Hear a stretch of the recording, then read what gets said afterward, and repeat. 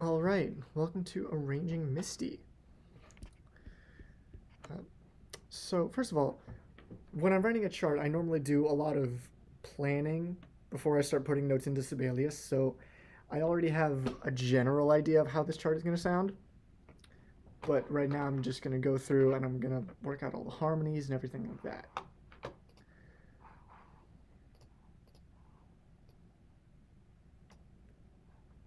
So uh, we're doing this tune as a funk shuffle. And the metronome mark is 168-ish. I might change that later if need if I need to.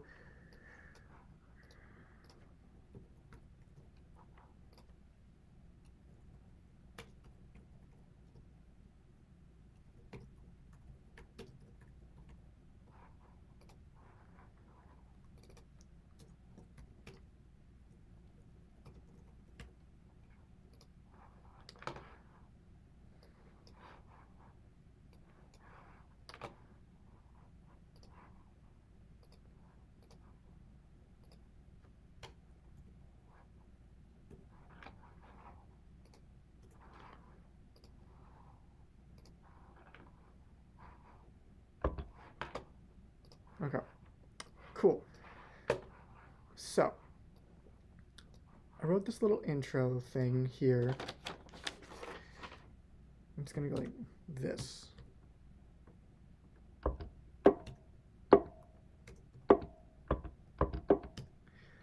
Um, melody's gonna be in the saxes, and I'm doing like a mixture between unison and harmony, like we're switching back and forth. So this is all unison until we get here.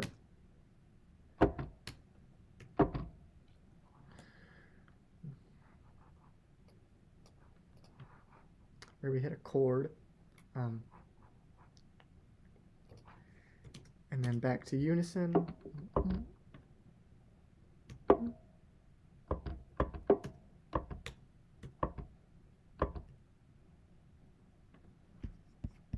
Is that what I wrote? No, not quite. That's what I wrote. And then, so for these first few bars, we're like all in E flat land, um, and we're having like a 2 5 somewhere in these bars here. But instead of going back to 1, we're going to an E major 7 chord to give it some harmonic interest. And then from there, I'm just going to go around the circle of fifths or fourths to get back to E flat. And when I'm writing harmony and stuff like that, it usually helps me to like actually write out the chord changes so I can see where the harmony is changing on the sheet. And I don't know what the quality of some of these chords are going to be yet, so for now I'm just writing them as sevenths, but I might go in and change that later.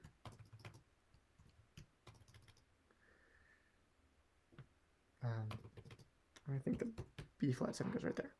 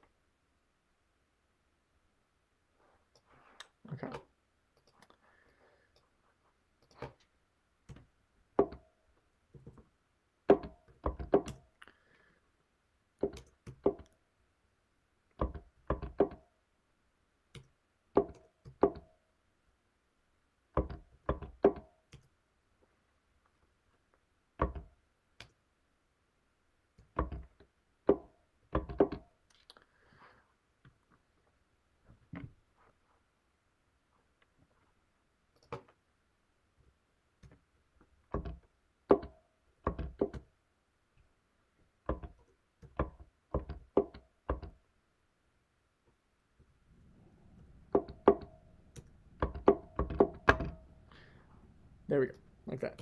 So that is the melody of the intro.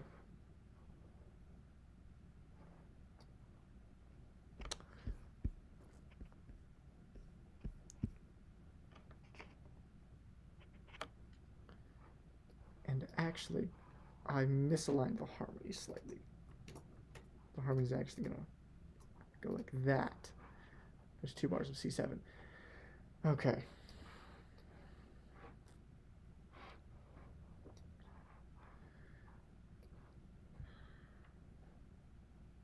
Now, I gotta enter some harmony here.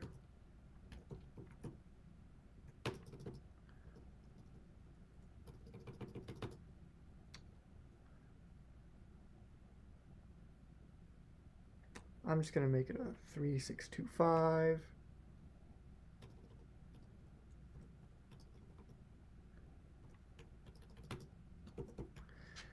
And then we get to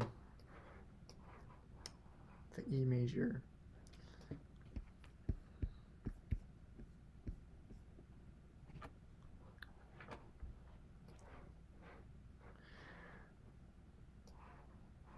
Okay. Now, while all this is happening, I've written some, a couple spots in the bass instruments to respond and fill some of the space, like this.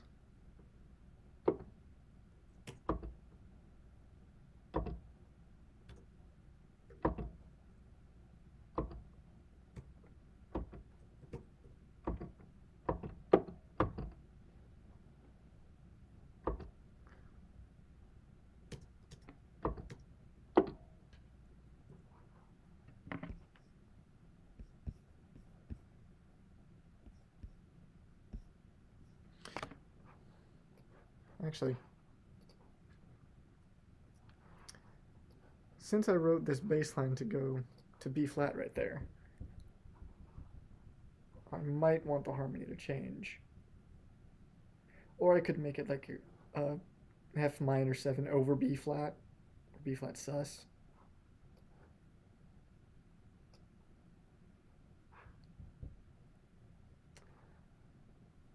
Okay, I'll come back to that.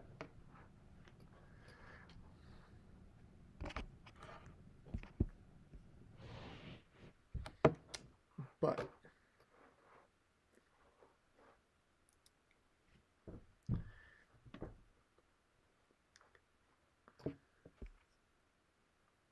now that I've got the melody and the chord changes written out, I want to decide what the tonalities of all those chords are going to be.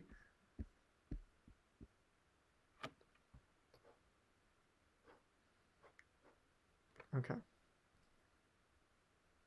And so this is the spot where I'm thinking like it's a the root is, of the chord is D, and then in the melody I have a four or an eleven and a flat nine. So I don't want to make it a regular dominant chord.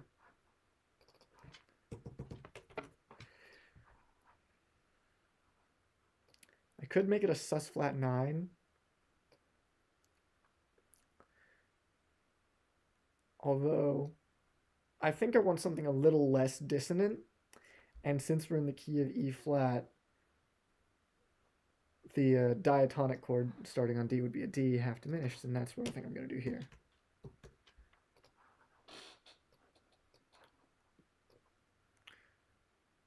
And then we've got a G chord, we've got a flat 9, a root, a 7, and a flat 13.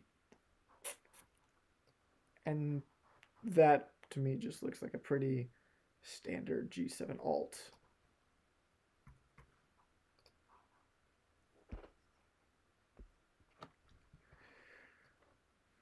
Okay.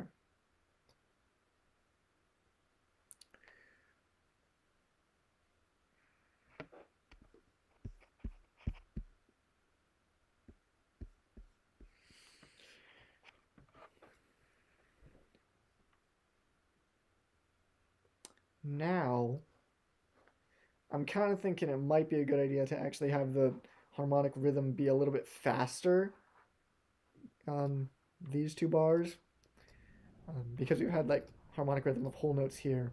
I'm thinking maybe half notes would be a good idea here, especially since we've got this bass motion in half notes. So I think I'm going to say um, let's see, this first chord is just a a B flat uh, G over C, so that's just a C7, which is perfect. Um, And we have a D chord with a flat 9 and a sharp 9. So that's like D7 sharp 9 or D7 alt. Um,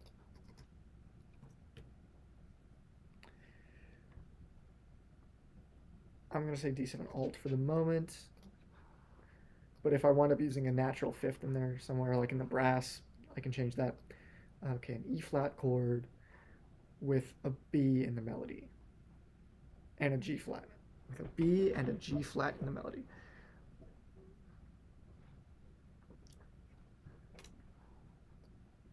Oops, that's not what I meant to do.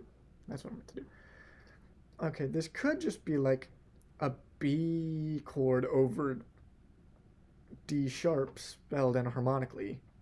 Um,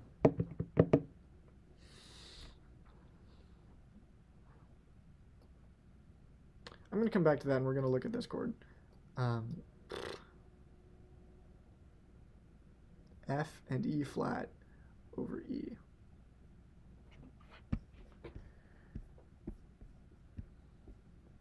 Did I write something down for this?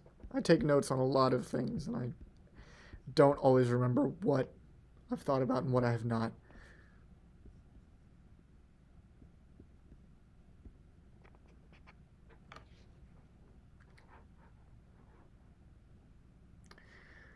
This is looking to me like the kind of situation where I want to use an accented passing chord or neighbor chord on on beat 3 to lead to this the end of 3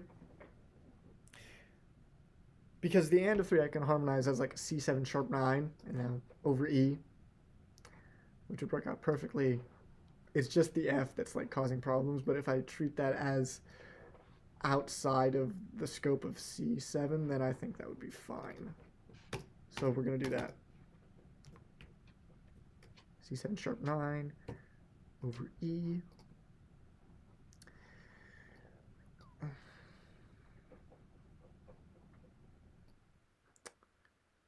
Okay, and now back to this chord. Did I write something down for this?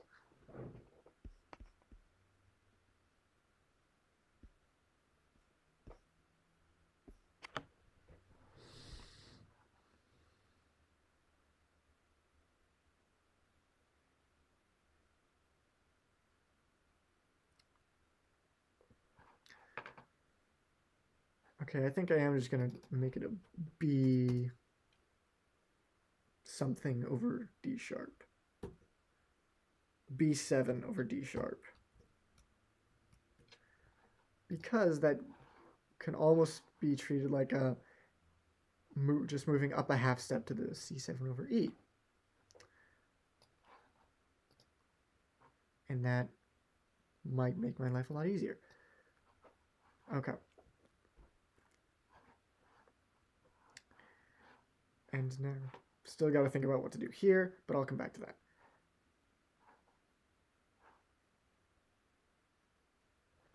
Okay. And now is the part where I want to start putting in some brass. And you're going to go like this.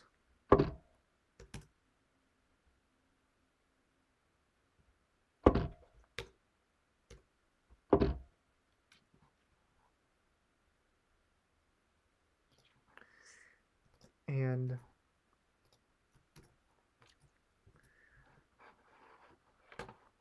one way I commonly harmonize brass is to like take whatever voicing, whatever four note voicing I use in the trumpets and copy paste it in the trombones down the octave.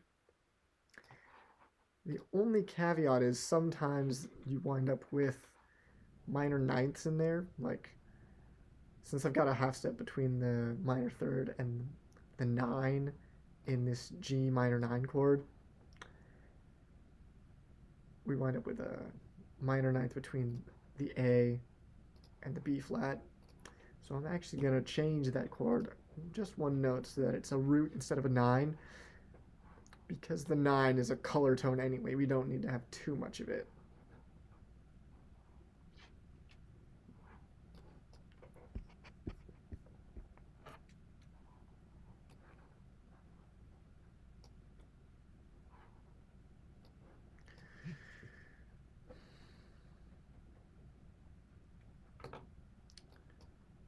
Okay. And here, I'm going to do the same thing in the brass that I'm doing in the saxes, where it starts off in unison and splits into harmony. I'm going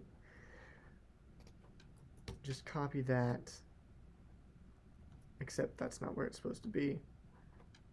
It's supposed to be right there.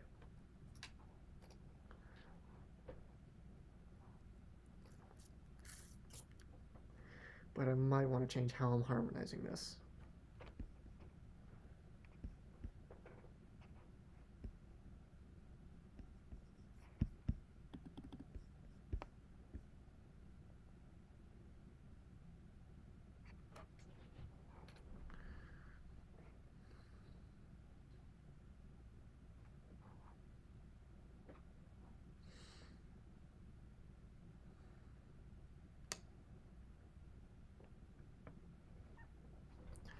Okay.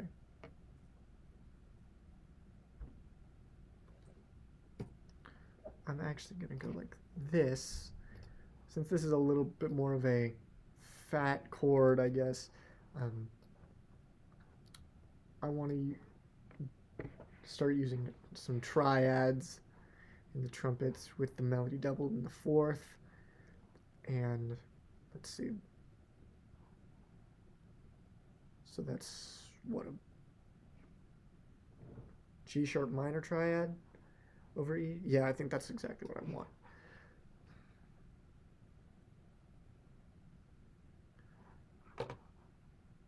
Actually, no. I want a B major triad over E. I want to get a 9 in there. Whoops.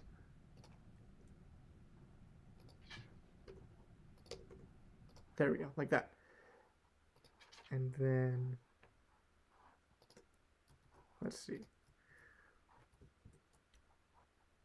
Trombones. We're going to harmonize like this on one bass bone on the root. Um,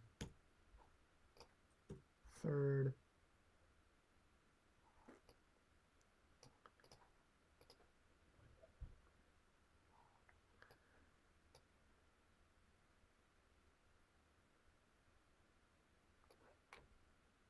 Could just go with the same voicing I had in saxes, actually. Like that.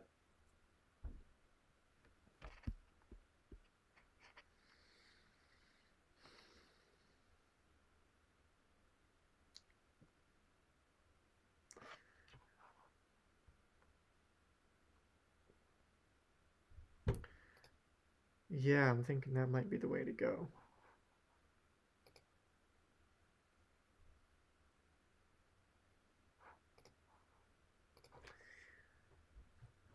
And I'm actually going to put that in octaves.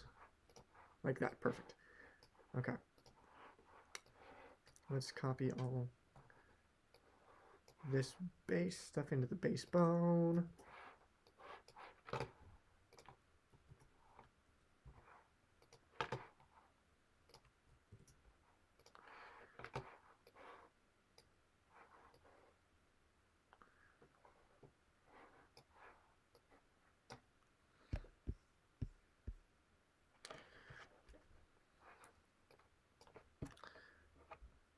Okay. And here I've got the saxes playing the melody and I'm kind of putting everything else in the same rhythm as the bass motion, the bass instruments.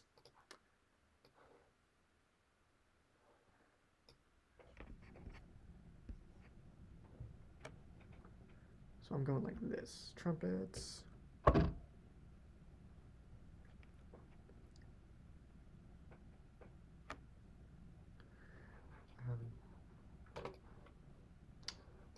G7 Alt, how I want to do that?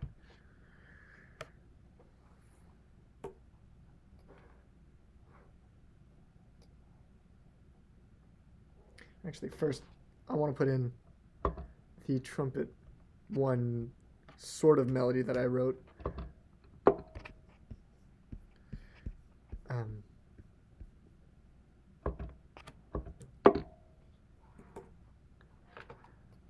It's just a thing to, designed to go in contrary motion with the bass.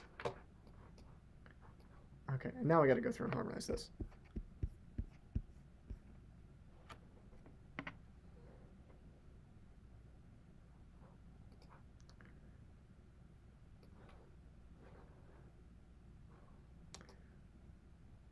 Okay.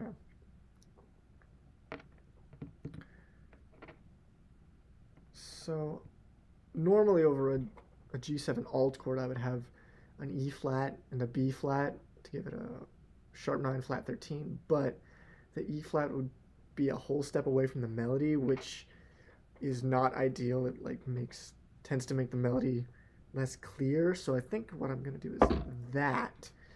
So we have sharp 9 and sharp 11 which still fits perfectly over an alt sound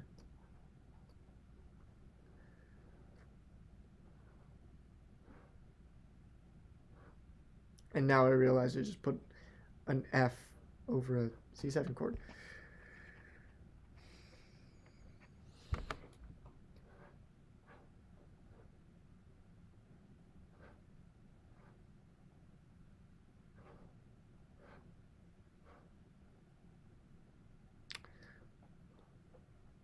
Actually, I think I want to make this a C minor 7. I think that would fit better with the harmony anyway, because this is D minor 7 flat 5 to G7 alt is totally a 2 5 in C minor. So, and that'll make the F work out perfectly. Um, I think going to go like that. D7 alt. Um, I think that's what I want. A flat major over D7. So that's flat 9 and sharp 11. Yeah, that still works over on alt chord.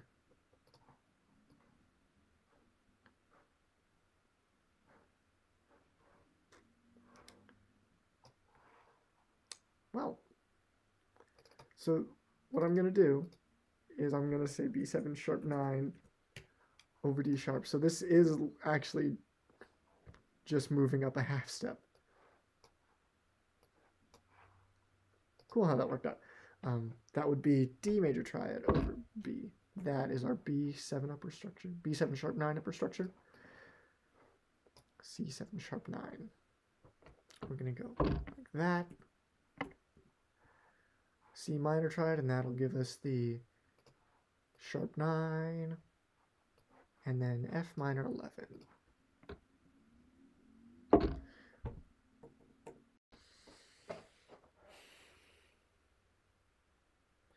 And now I'm starting to think triads might not be the way to go this whole time because we're starting to get kind of low in the fourth trumpet. Or actually, I could just double the lead trumpet part in octave in the second trumpet. Because that's in the range where it's still perfectly manageable to have two trumpets on the same line. Hmm. Maybe. Okay, first I'm to work out these trombone parts, and then I'll see whether I need to do anything.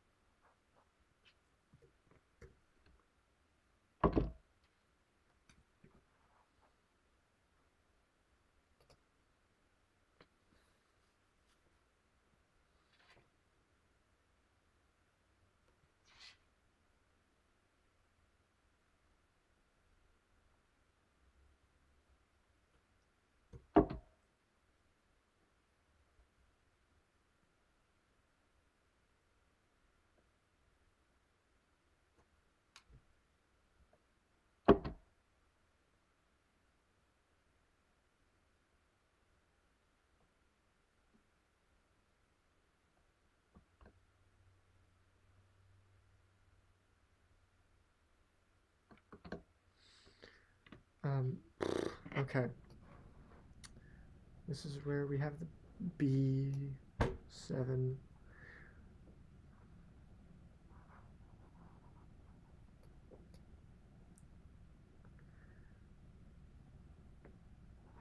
What I'm going to do, I'm going to just go a B major triad because we actually don't have the root anywhere else in this chord yet. Except the melody. But I want to reinforce it a little bit. So we're to go like that. And then same thing here. And yeah, that is definitely getting. Well, I want to avoid voice crossing between um, the trumpets and trombones. So first of all, I can just move the top notes down.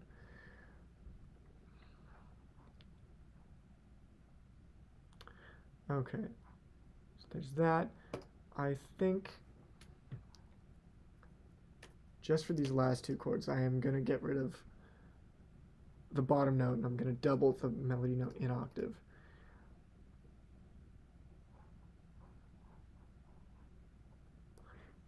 And then the thing that I start thinking about is, is that going to be like super awkward for the trumpets? But let's see, D, E flat, E flat is fine.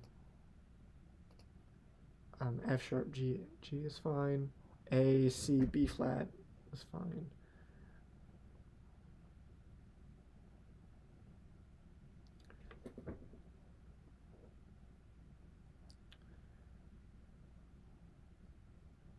Okay.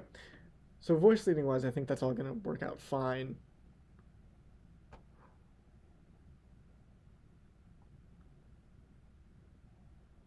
I'm still thinking I might want to get rid of these bottom notes. Actually, yeah, I'm just going to go ahead and do that. And we're going to reinforce the melody in octave here. Okay. There's that. And now this bar is, I'm going to orchestrate this throughout the whole band, starting like this.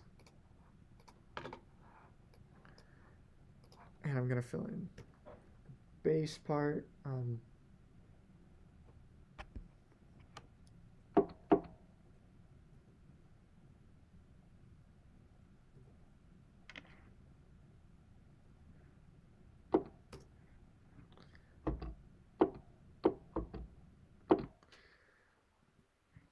Okay.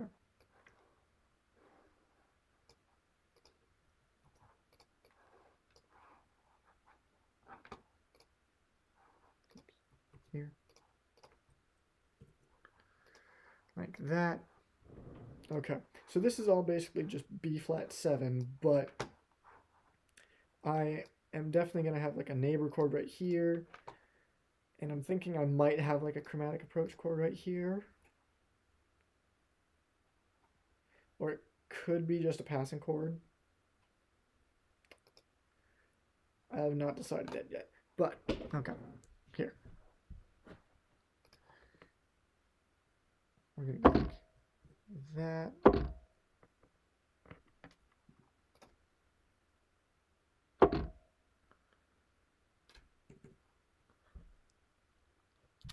Now, Okay, here's the thing. If I were to harmonize this C this in the same fashion that I'm harmonizing these B flats, it would look like that because a, the 9 of a B flat 7 chord is just a substitute for the root, so it's like serving the same function, which means all of the other notes would stay the same, which is something that I definitely want to avoid. So what I'm actually going to do is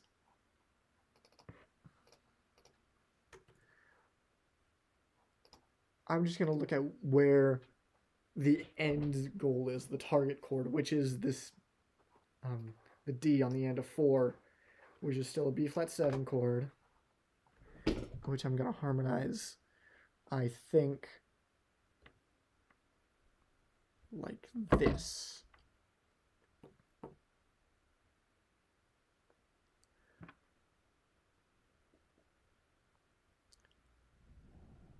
Or I could make it an upper structure. Um,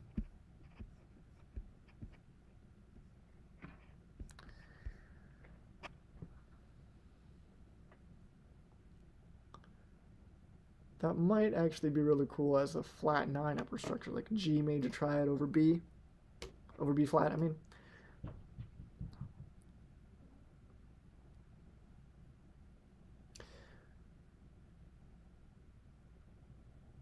So that would be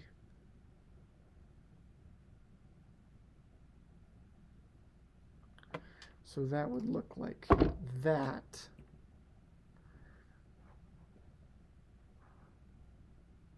Hmm.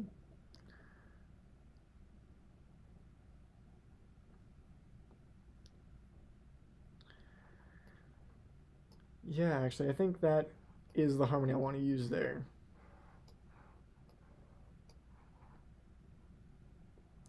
Yeah, I'm to treat that like a B flat 7 flat 9. Although I might want to rearrange how I voice the saxes. I'm, so I might come back to that after I deal with the brass.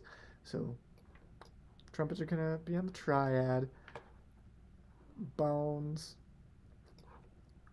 Let's see, what am I going to do with you?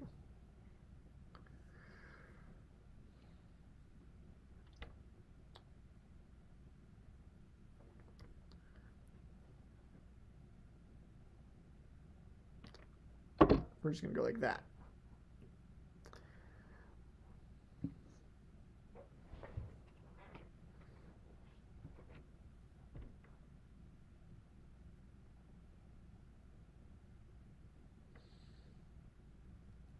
Okay.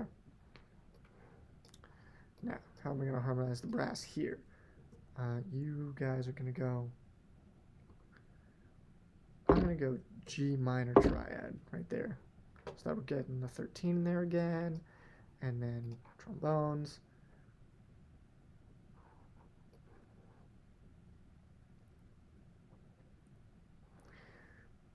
So I could actually treat this whole measure as B flat 7 flat 9 because the only C is right here, which I'm treating as a passing chord anyway.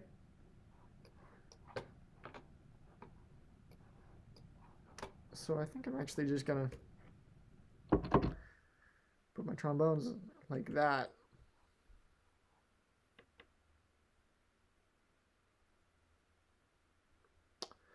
Except that that gives us some overlap between the lead bone and the fourth trumpet. I think I'm actually going to go like this. Perfect.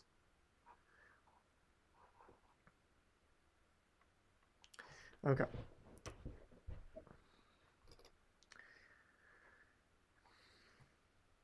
And then, whoops.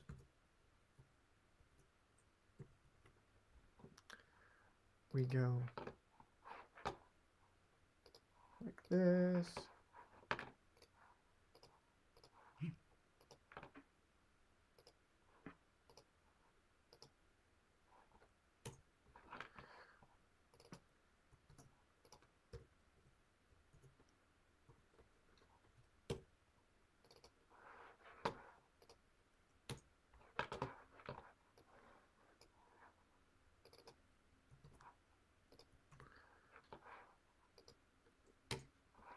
That.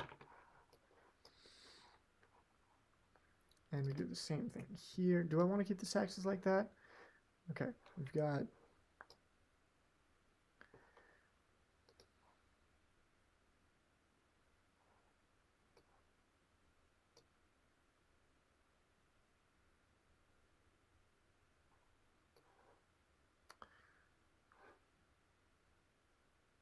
Yeah, I think that actually does make the most sense as to how to voice the saxes. So we're going to go like that.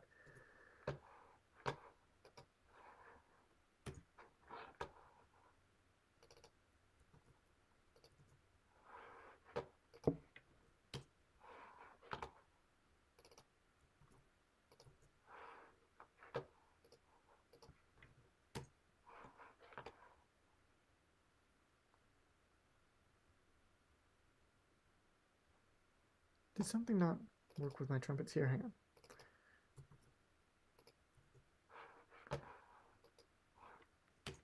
There we go. Perfect. Okay.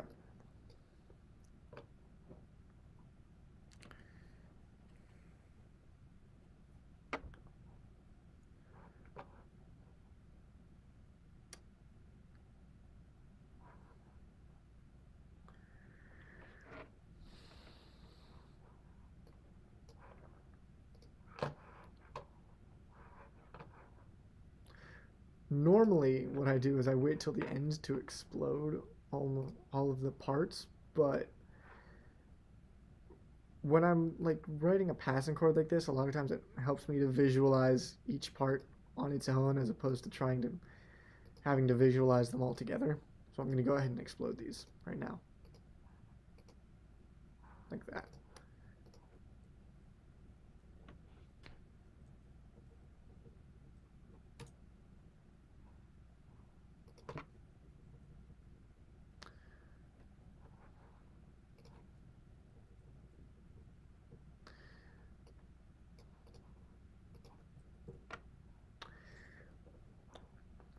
And since there's no passing chord between a half step, I'm just going to keep it on the A flat.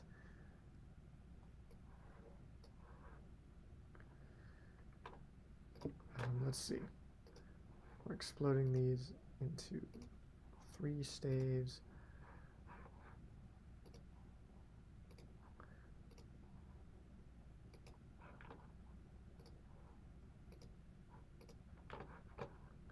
Like that. Okay. And I'm going to double the lead trumpet part again.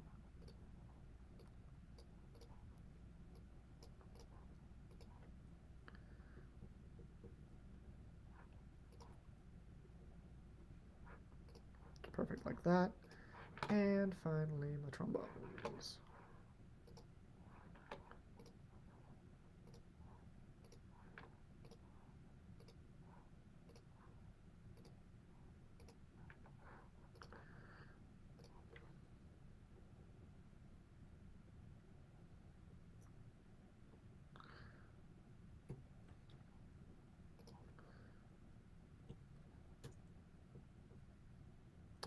Again, no passing. Actually, wait, that's an A flat, which means there is a passing chord.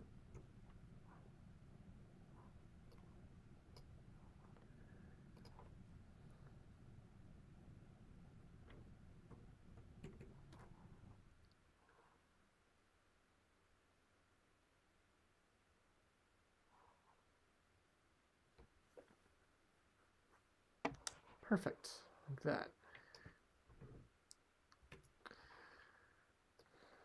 Okay, and that is the intro.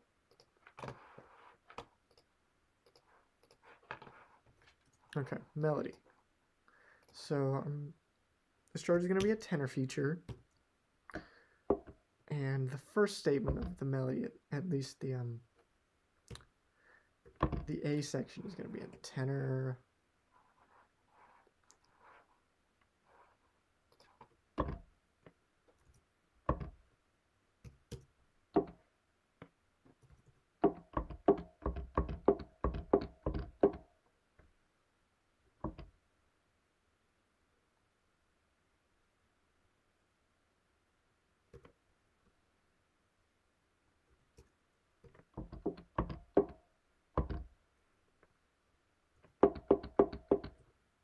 Oops.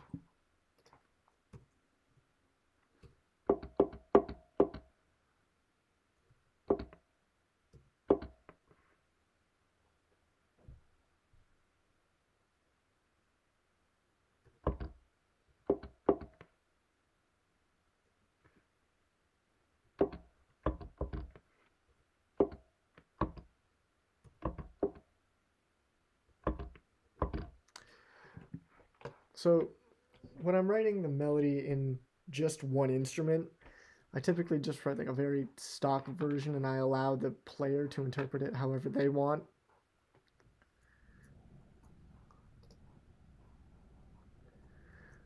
So I'm not going to worry about how I'm not going to worry about how musical I'm actually making the the uh, first A section.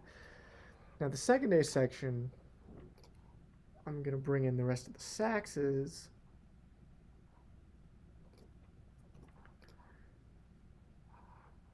And now I am going to start to worry about how I'm, how I'm actually phrasing the melody.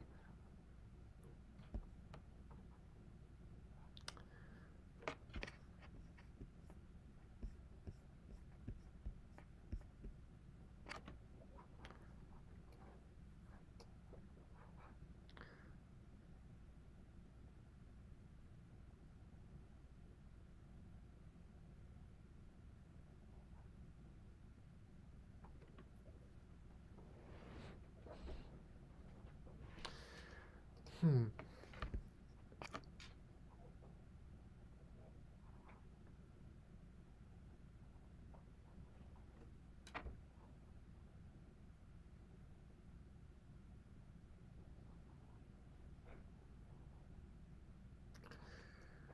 Hmm, okay. Again, I'm starting to think in terms of where I want to end up, which is on the major seventh. Um, and I want to give it a little anticipation.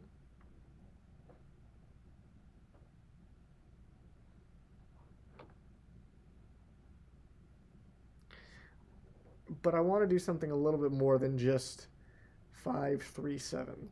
Um, not that it has to be crazy, but like something a little bit more.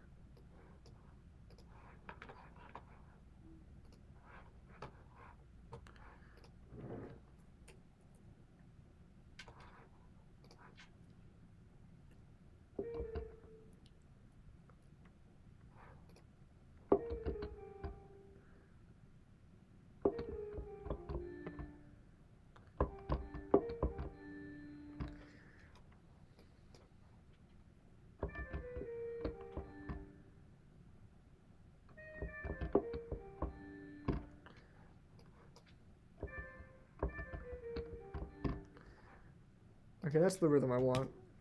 Not quite sure what the notes are going to be yet. It's going to be something like.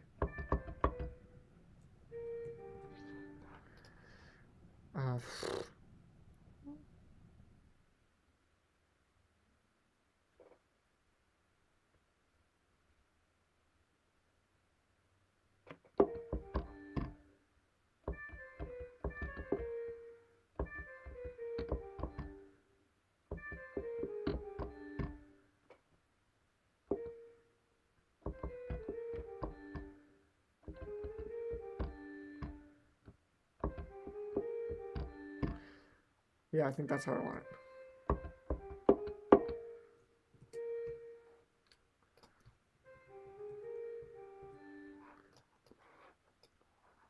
Perfect, just like that.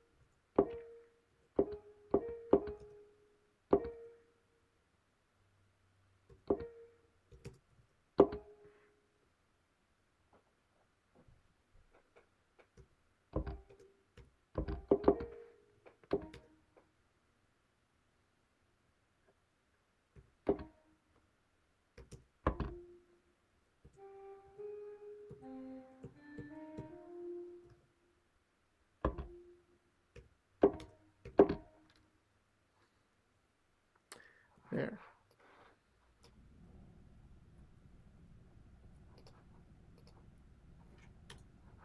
Okay. So I'm trying to write a melodic statement that's like fitting to this funk shuffle vibe.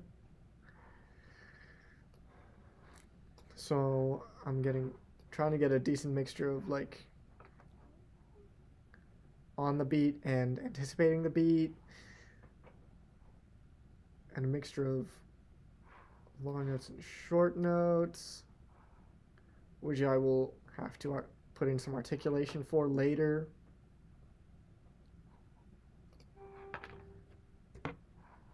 Or now.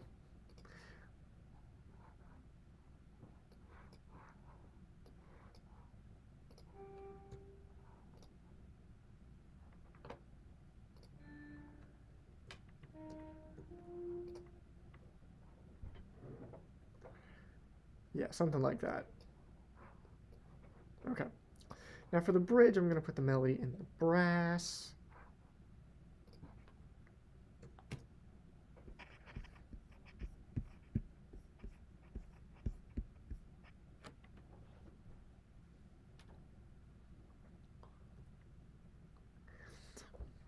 And I'm going to like slightly alter the, the rhythm of the melody, so it's going to sound like...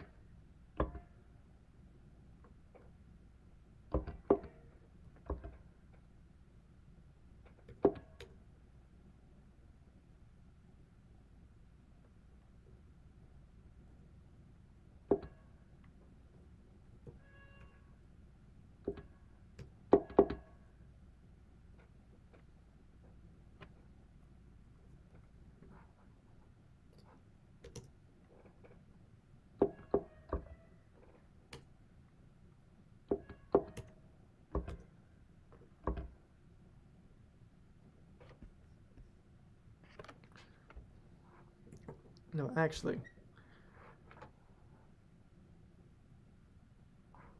I want to keep this idea of landing on the long note on the downbeat throughout the whole bridge, or at least twice. I might change it in the third time, but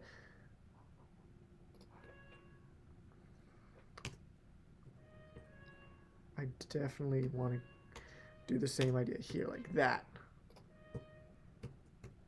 Like that, perfect.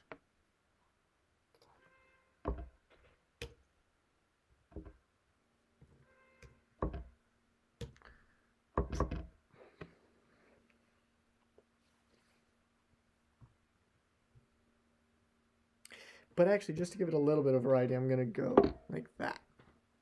I'm going to change the chord right there.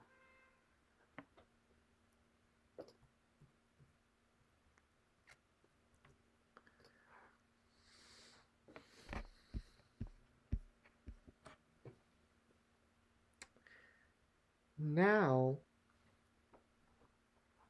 I want I want to do something slightly different with the harmony. Okay. I'm going to start putting some chord changes in.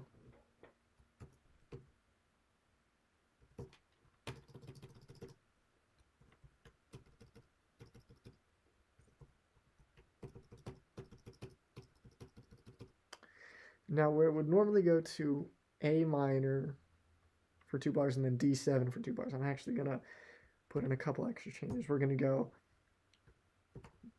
B half diminished, E7, then A half diminished, D7, and then 3625 back to E flat.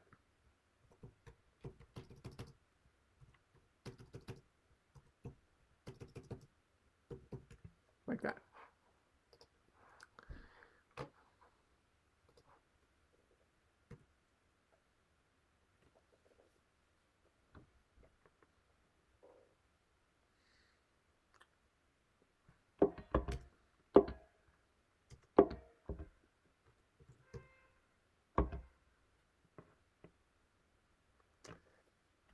Okay. And the melody's to go like this.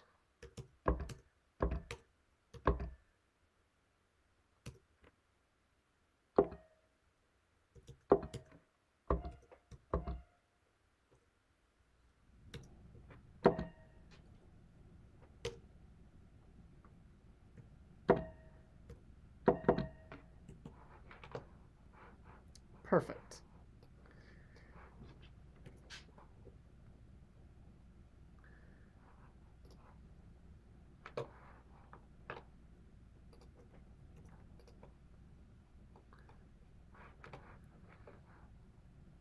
And finally, the melody of the third A section is going to be back in the tenor.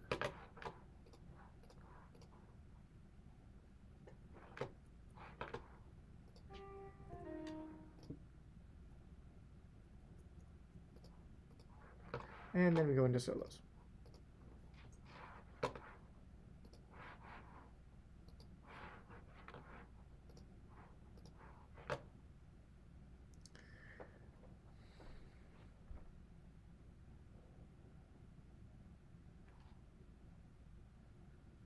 Okay. Now it is time to write out some harmony, but again, I'm going to start by writing out the chord changes.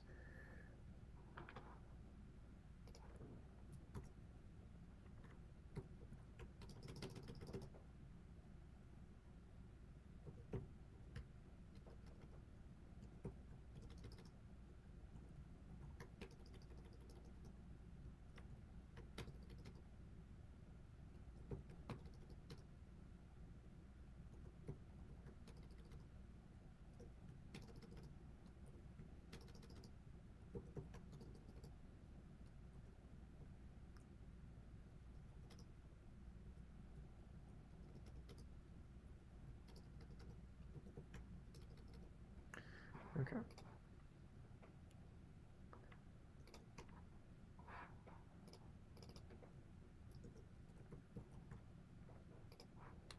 Okay.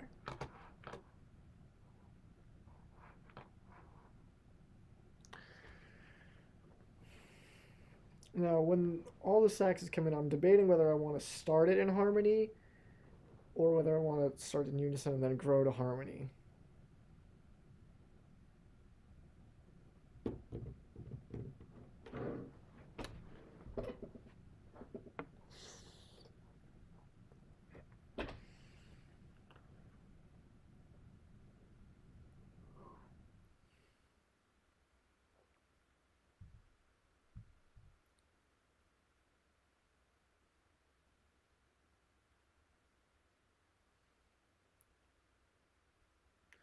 So this particular little melodic phrase is not very conducive to like jumping straight into harmony anywhere in here.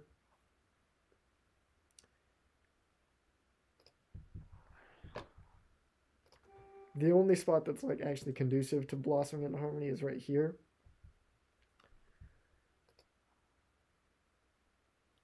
So I think I'm just going to start the whole thing in harmony.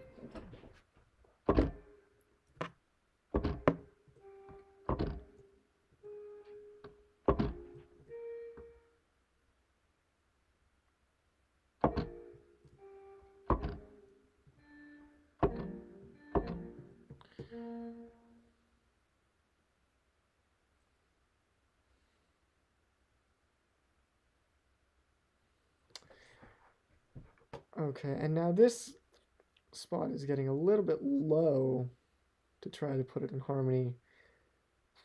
Um,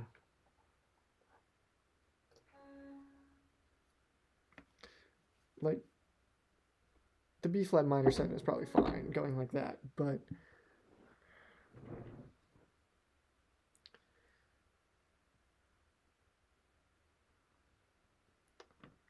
the this low B flat over E flat major.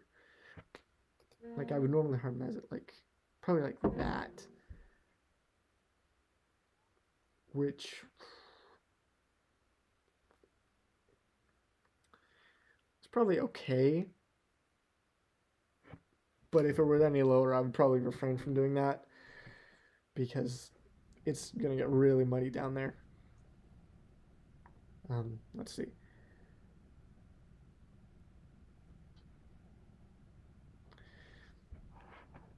Okay. What am I doing here? I'm going like that.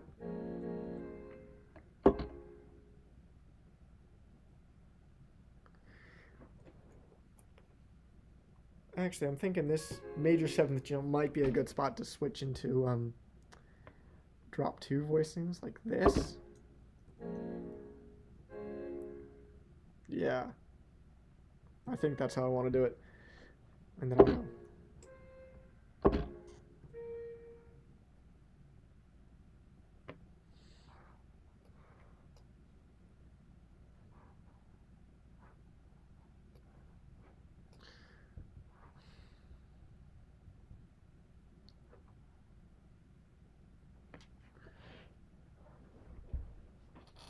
Okay. Same sort of deal. I had a problem with earlier where the 9 and the root are serving the same function.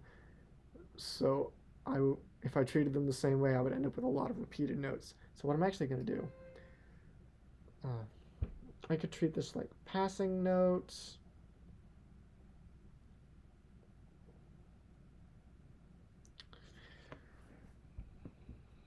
Except the passing chord here would be very non-diatonic, and I think I want to avoid that right now. Because um, up until this point, it's all been very um, centered in the key of either E flat or A flat, and I don't want to have this sudden step outside of that. Except that it's on an on an offbeat, so it probably get masked pretty well. Um, okay.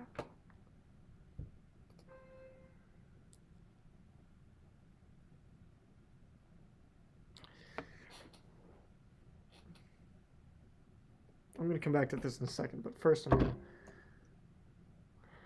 deal with the E flat 7. Now here I don't have that same sort of problem because this is a quarter note, so I'm not like super worried about having a lot of repeated notes.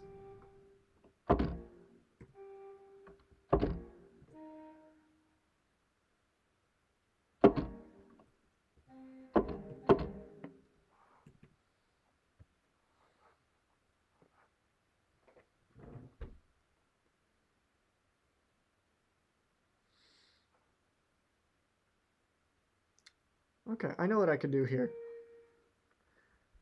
What I'm going to do is I am going to harmonize the same way, but when I explode it, I'm only going to have the uh, alto, alto mo one move, so the rest of the notes actually don't even need to be rearticulated. Here. Just to show you what that's like, I'm going to actually go ahead and do that right now.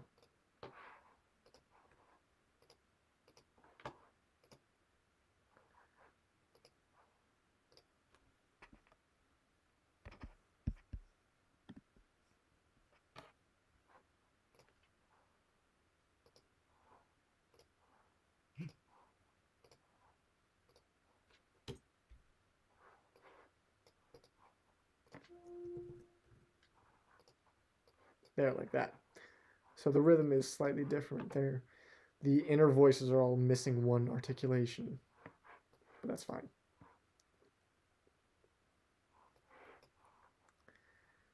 Okay. Now here is really too low to try to harmonize it in four parts, so I think I'm going to have another not another, I'm going to have a unison blossom thing because I've not had one of those in this section yet.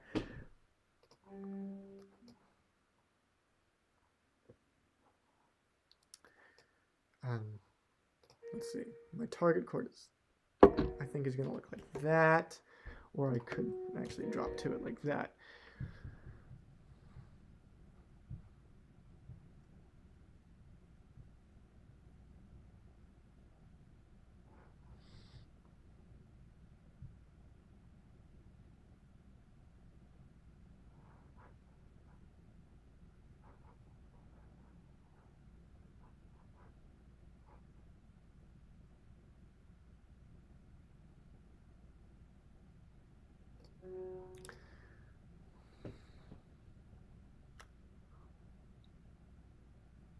No, I changed my mind.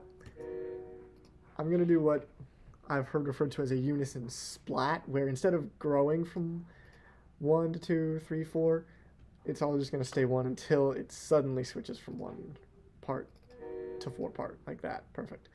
And I'm gonna do the same thing I did earlier, where um, the inner voices don't need to rearticulate these notes until here. I'm going to have to articulate there. And then the chord changes to D flat 7. Oops.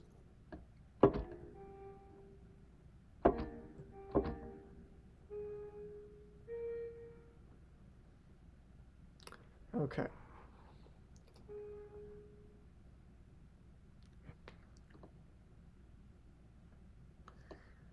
So now I've got to deal with this passing chord.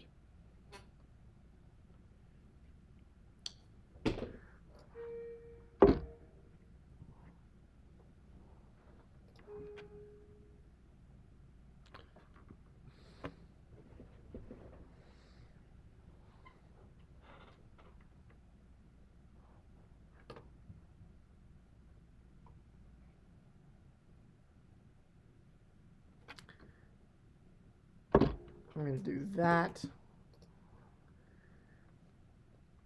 And again, I don't really need to worry about the repeated note because this is a long note.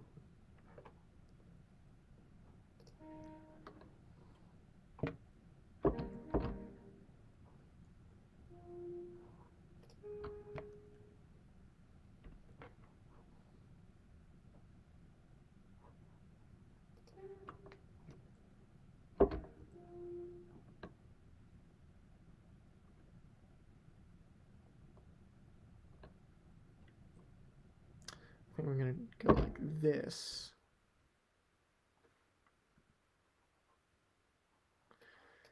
And that's perfect because all the voices move. And then here, I'm kind of tempted to go back to drop two. What would that look like?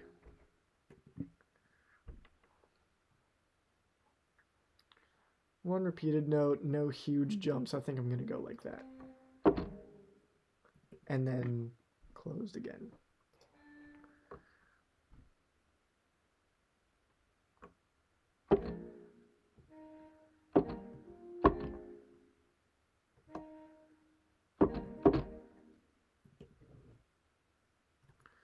Perfect, like that. That is the second A. Okay. Bridge.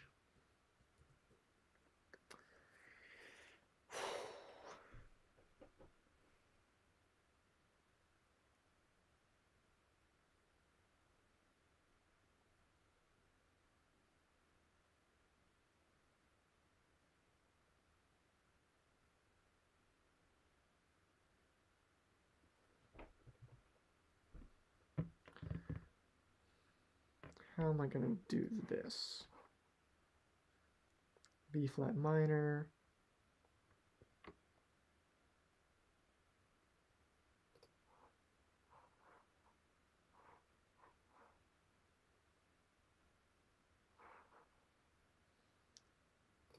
I think I'm going to go like this.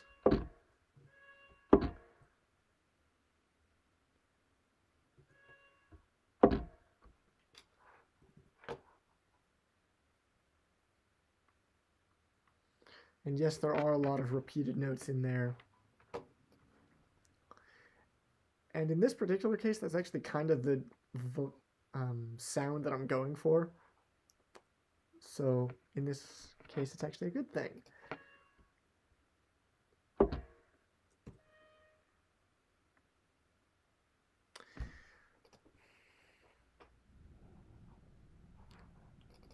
Okay, I'm actually going to call this E flat 7, flat 9.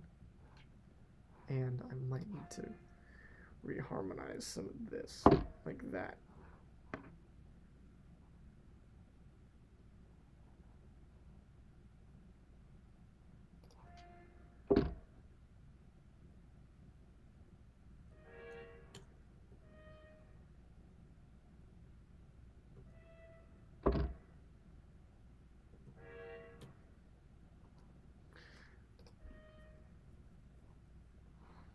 Okay.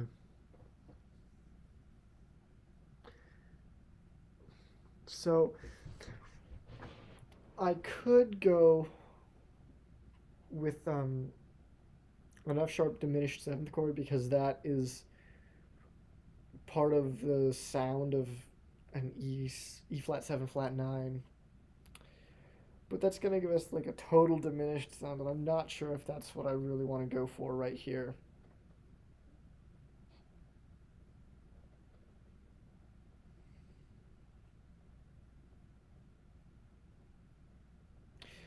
So what I think I'm actually going to do instead is, um, since this flat 9 is another substitution for a root, I'm harmonizing this the same way, and we're getting some repeated notes in there.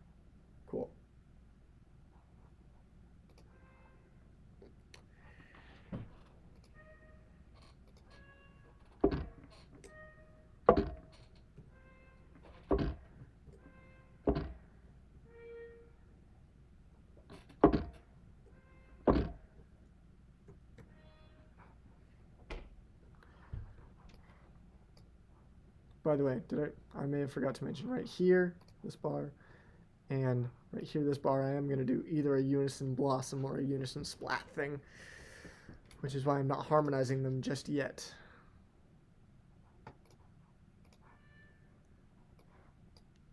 Okay, here.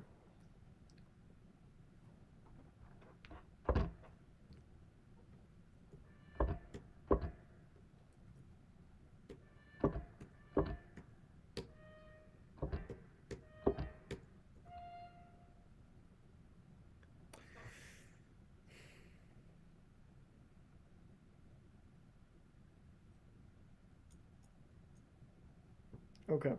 I, I'm actually going to change how I'm doing this. I want to do some triads here because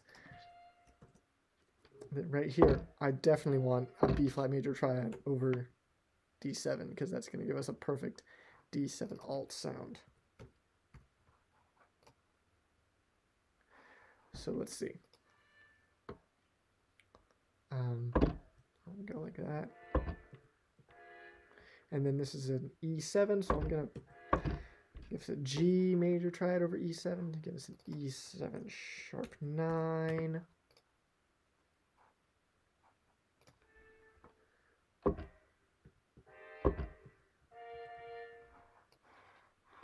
And then here.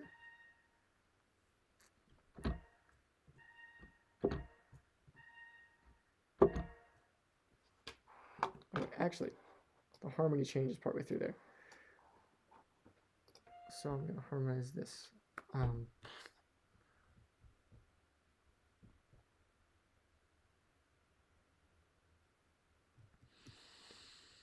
okay. First of all, right here, I would normally I would be tempted to harmonize an F minor 11. That the problem is I feel like that I fear that's going to make it sound too much like an E flat major chord even though there's an F in the bass, which I don't want. So what I'm actually going to do is I'm going to go like that. Cuz that's a little bit less um, tonally solidifying. And then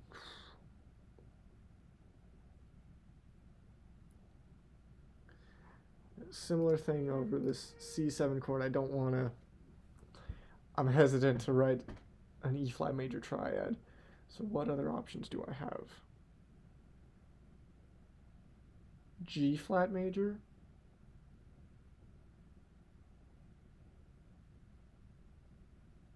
Which is almost an alt sound, like sharp 11, flat 9.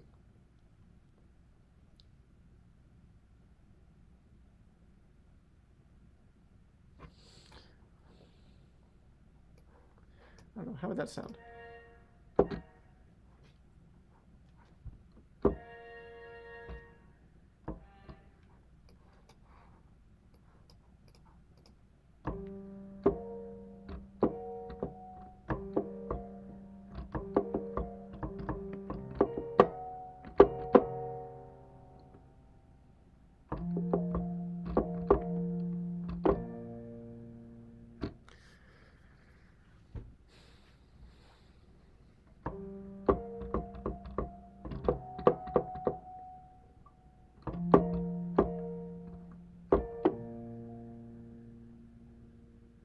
Actually kind of like the sound of the sharp 11, especially because it's just like, it's just a neighbor chord basically from this F, because the whole rest of the, um, not a neighbor chord, a neighbor tone, because the whole rest of the chord is staying the same. I think I, I think that's actually exactly how I want it.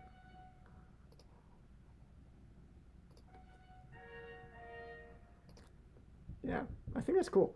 Okay, awesome. And trombone.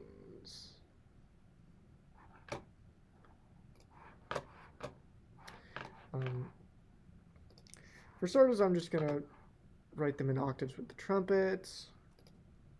This whole first phrase, or first two phrases. And now here. This is where I'm going to break them up. Let's see.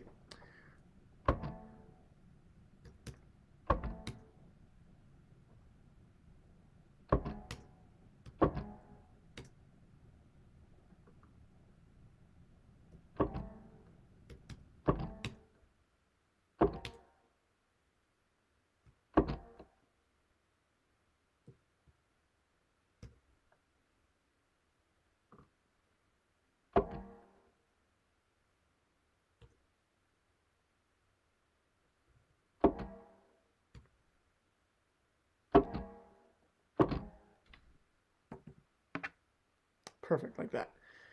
Okay. And this top note does not need a slur. Okay. Beautiful.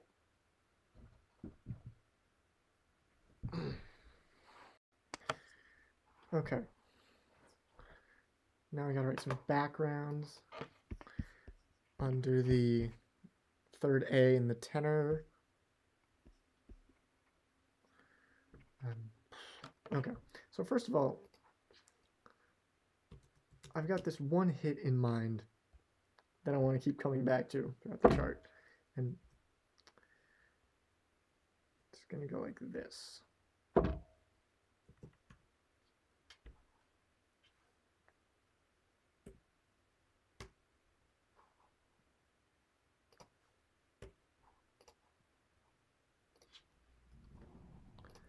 And let's see. Trombones, I think.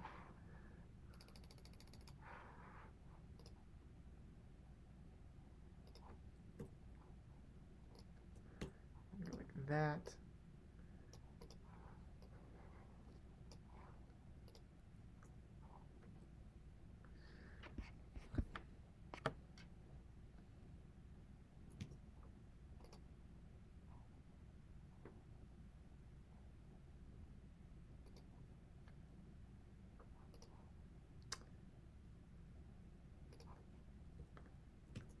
Okay, and my saxes are going like that.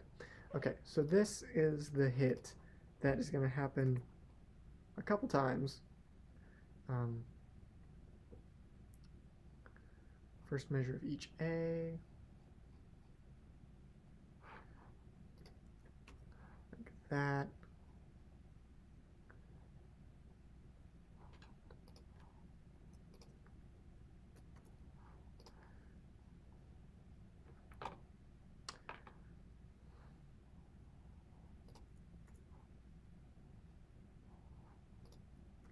Like that. Okay. So that's one. Two.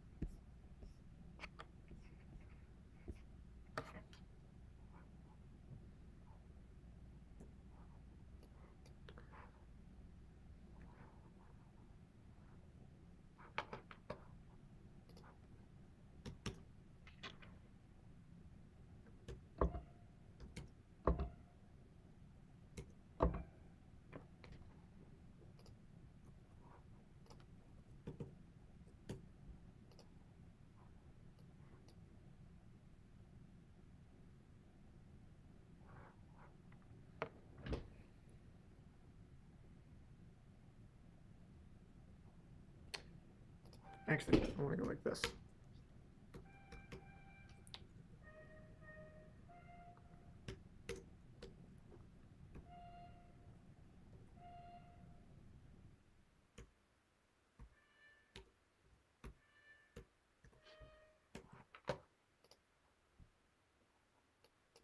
Like that. And I'm going to put in little passing notes here.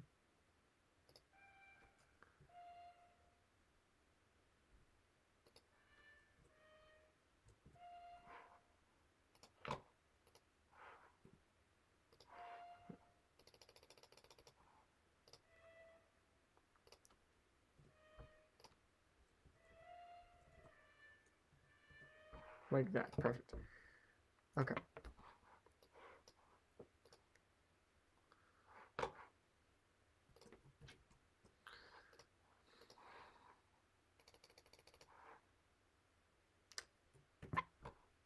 Again, I gotta bring in the harmony, chord changes.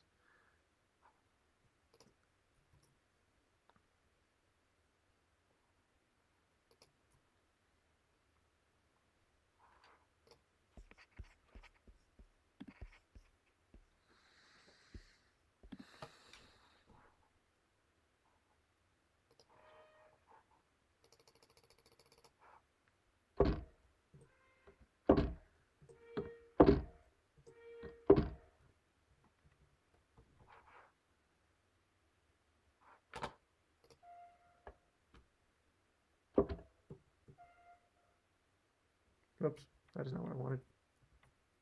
I wanted that.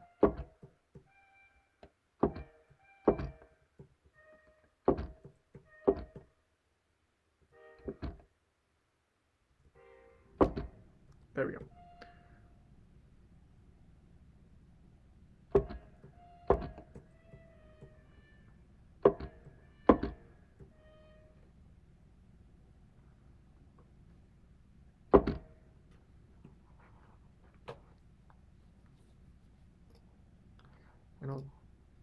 I will figure out what each of those grace notes is going to be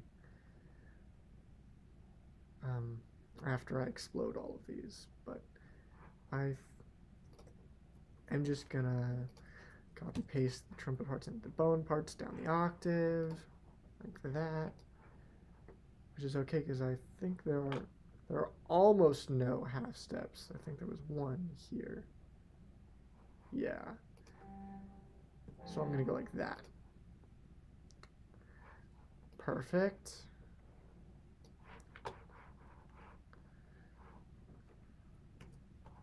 Okay. And that is the head.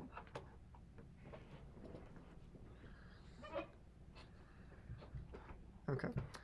Solos. Okay. What I'm going to do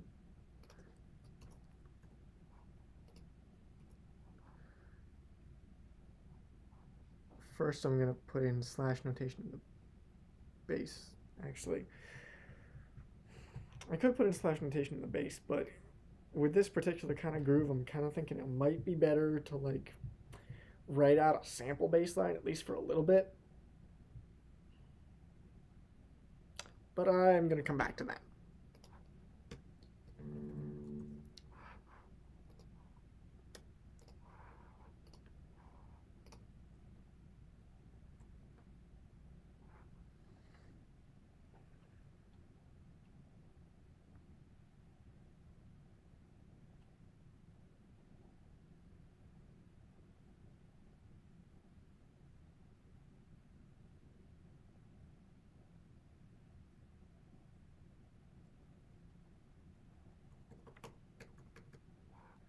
Cool.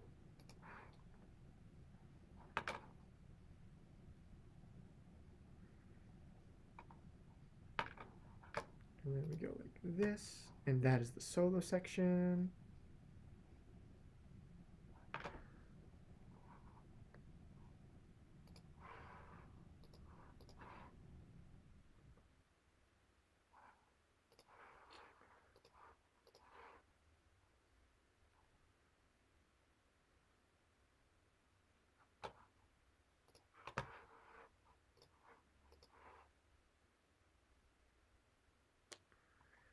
Okay.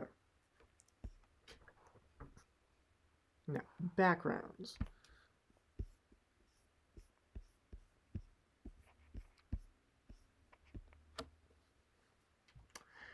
Uh,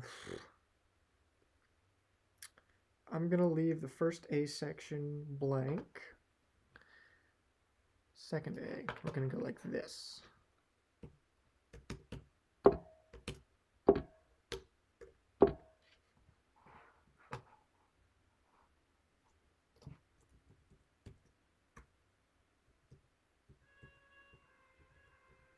Oops. This should be like that.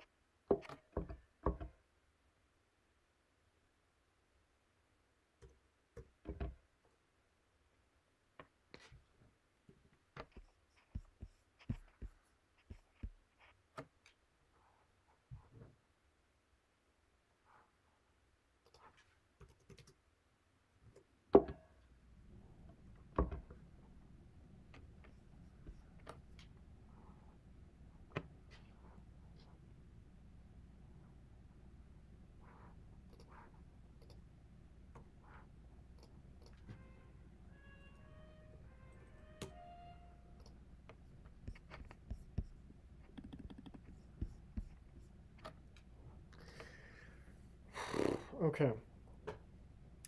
Now, since I've got this series of two fives going on, I want to like have the same idea happening the whole time, every two bars.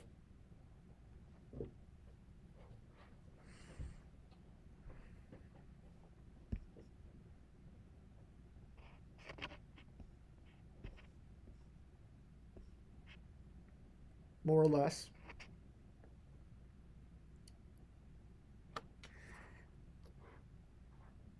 But I've got this other idea. Um, and I'm kind of thinking they could just. I wonder how they would look if they just basically like overlapped like that. I'm talking rhythmically, by the way. Um, I'm I've not even started to think about the harmony yet.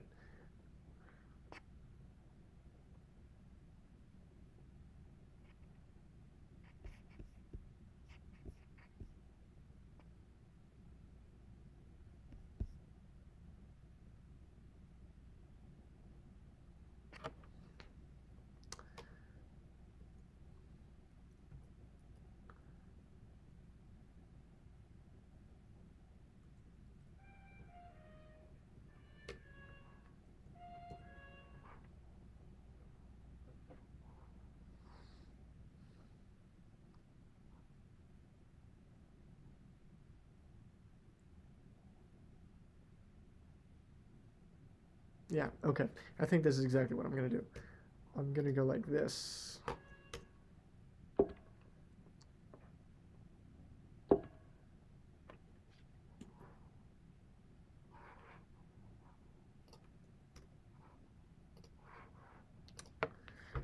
So, there seems to be a pattern emerging here of, like,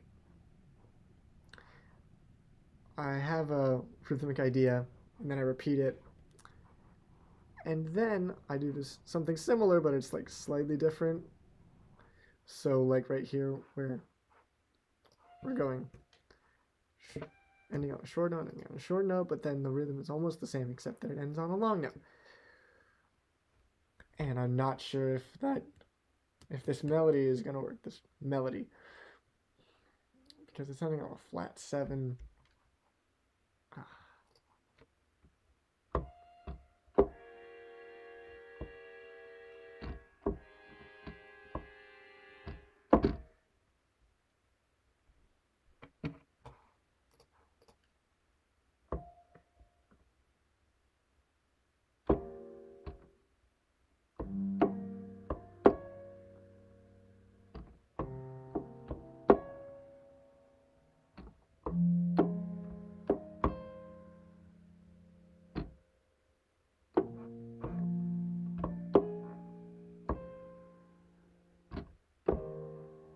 actually. I think the flat seven is fine right there because there's enough harmony happening here to reestablish the tonal center of E flat. So yeah, that's going to be fine.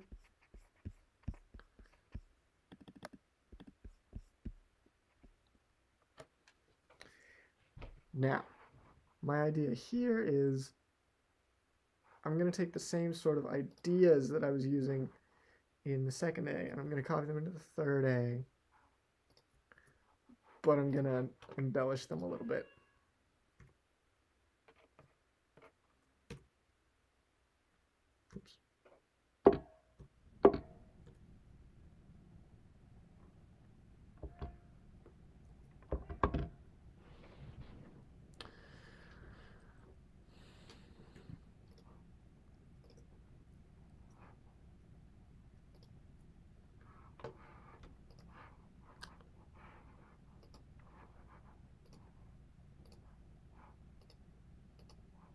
Oops.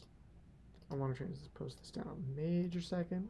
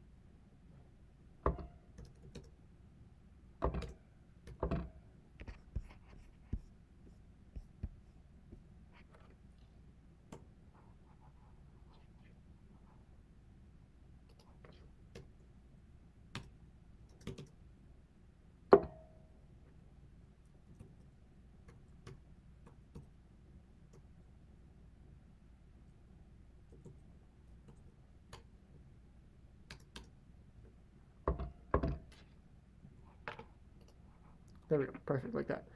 Okay. Harmonizing time.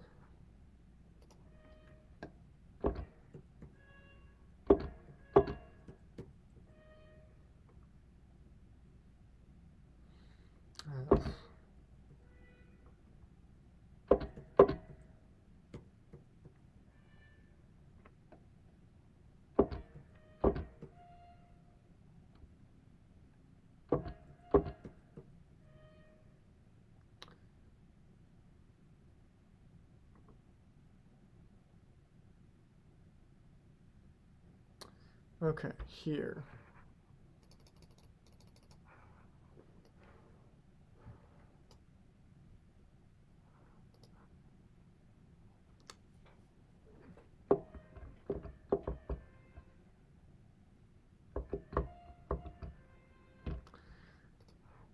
Okay, so I could think of a way to harmonize this E flat as like a passing chord over this B flat 7. But I'm actually thinking it might just be easier and also just sound smoother if I change it to an F.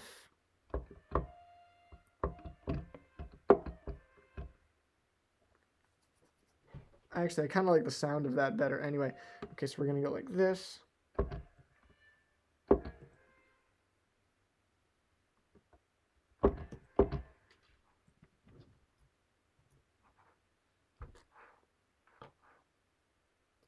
Actually, that's supposed to be an E flat. Um,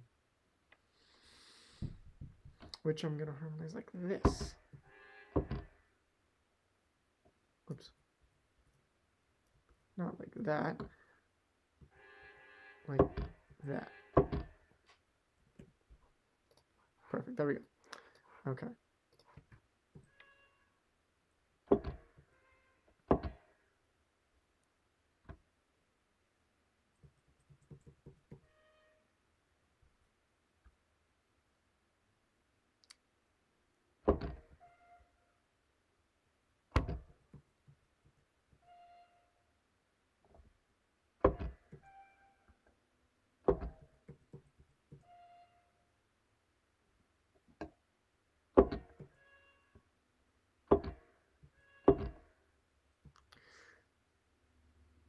So I think I'm just doing all the backgrounds in like standard four part closed voicing and then I'll double everything in the lower parts down the octave. And the normal way that I write backgrounds is I give backgrounds to all the parts that don't have solo changes, which is going to be trumpets 1, 3, and 4, alto 2, tenor 2, and bones 2, 3, and 4.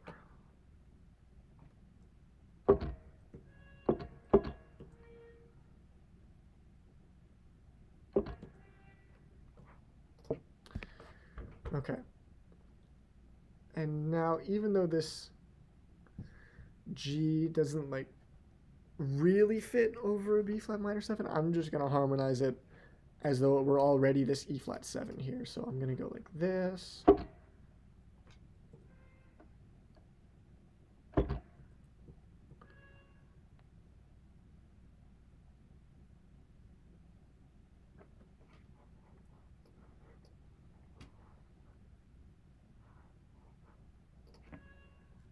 That should be an E flat again.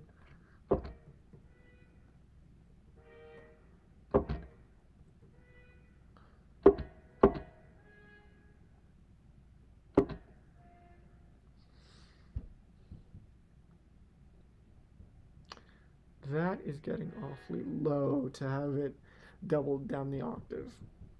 I'm going to have to come up with another way to harmonize that.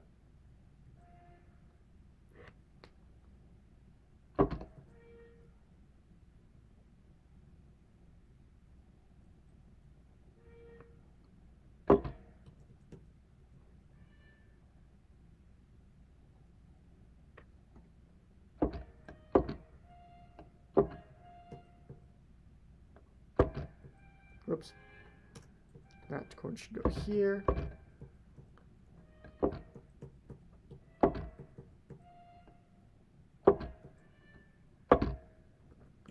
There we go, and that is backgrounds.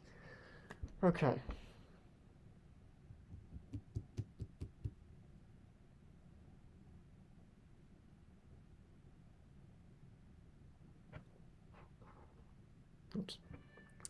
I missed it there. There we go. Perfect.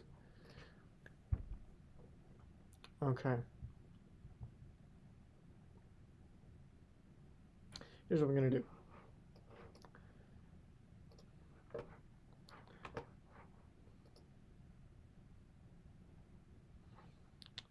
Uh, for this whole section here, I'm gonna first I'm gonna turn it into drop two voicings and then I'm gonna explode it like this.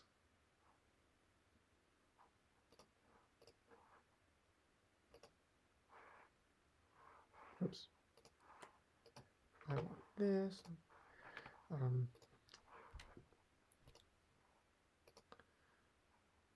so rather than doubling everything at the octave, I'm going to double everything in octaves. So like trumpet 1, trumpet 3 is going to be the same.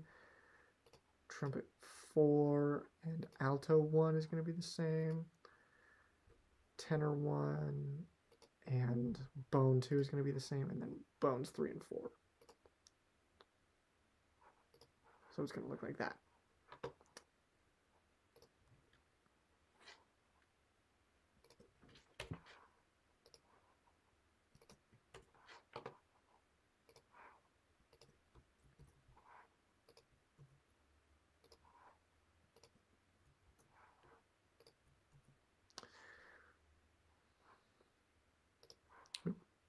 I accidentally put that in the wrong tenor.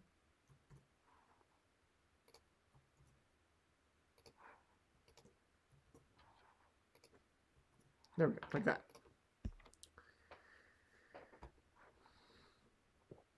All the rest of the backgrounds I think are written high enough that I can double them down an octave, except maybe right here.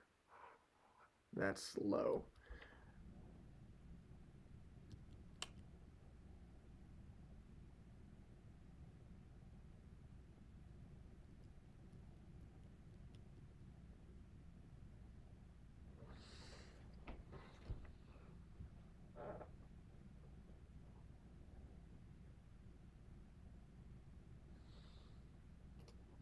Hmm.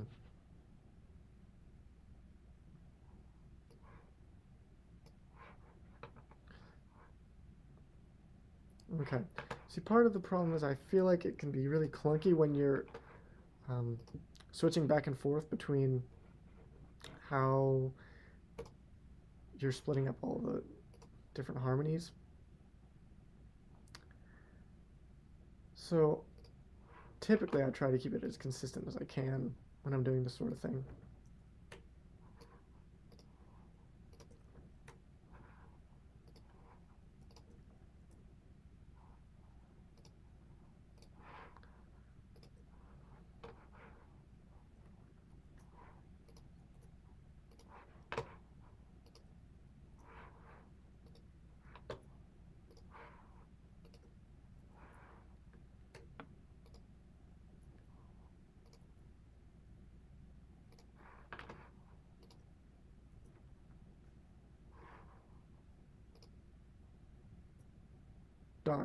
I definitely forgot to turn that into a drop two.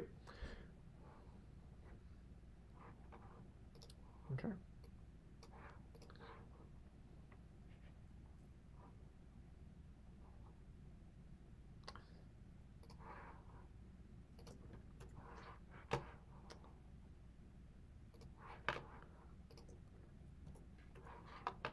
Here, I'm just gonna fix that like that.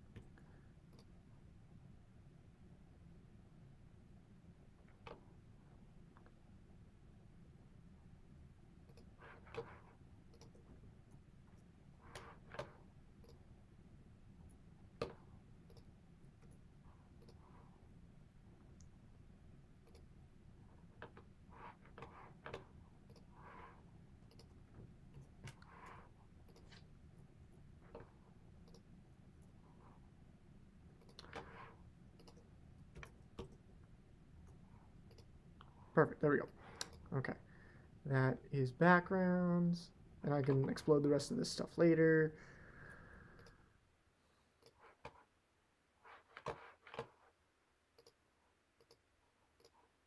Okay, soli.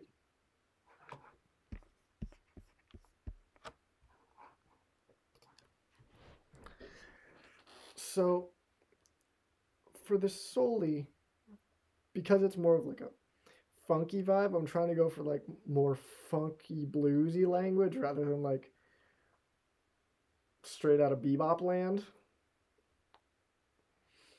And like even when I'm writing a bebop Soli, like there's gonna be some blues influence in there, and vice versa here. Like there's probably gonna be a little bit of bebop language, but overall, I'm trying to keep it more in a funk vibe. So I've written out like a draft of how the Soli's gonna sound, and I will I'll probably make some edits along the way, but this is the start of what I came up with.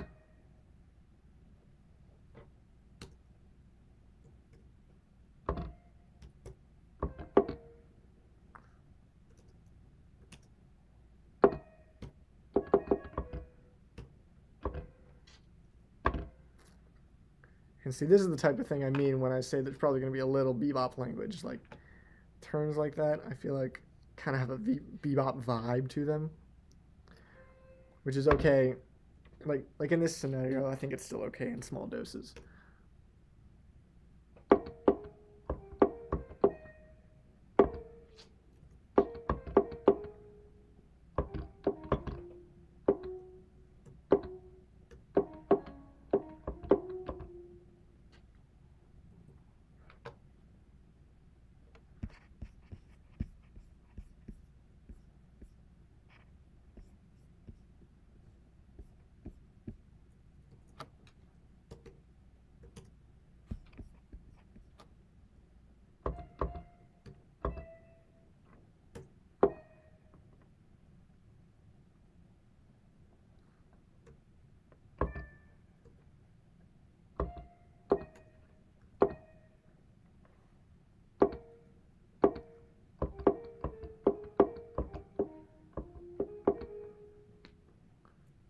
I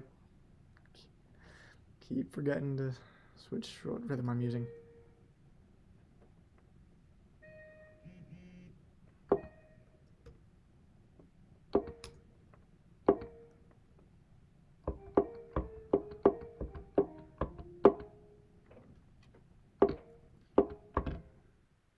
There we go. That's how I want it.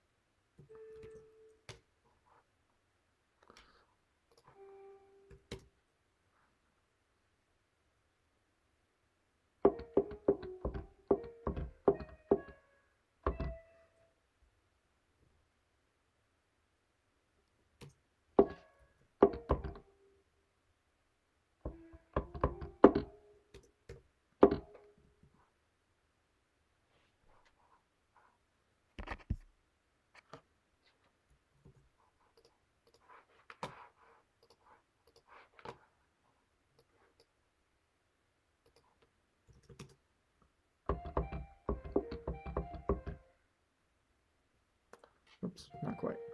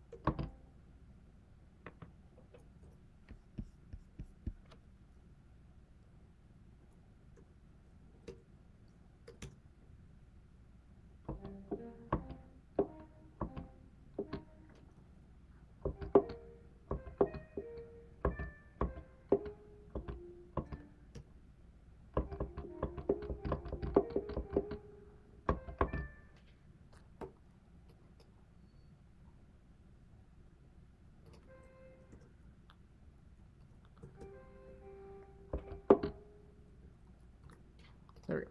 The, okay. That is the Soli melody that I came up with. So.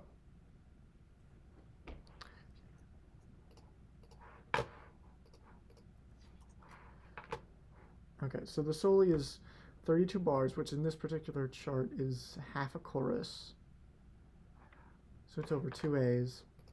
So I'm gonna go ahead put the harmony in.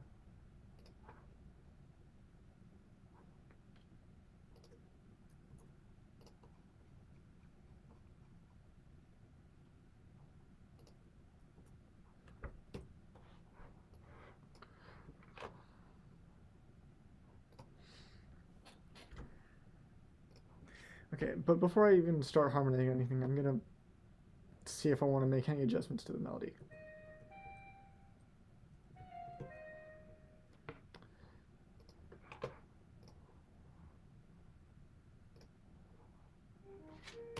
Oops, that is not what I want. That's what I want.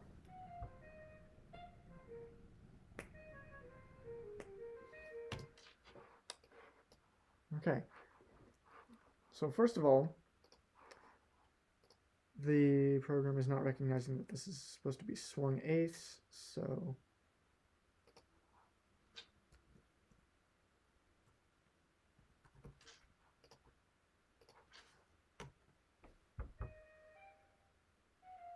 there we go.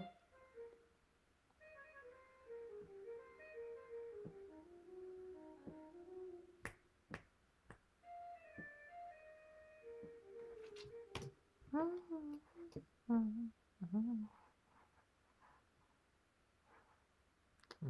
I want to adjust this.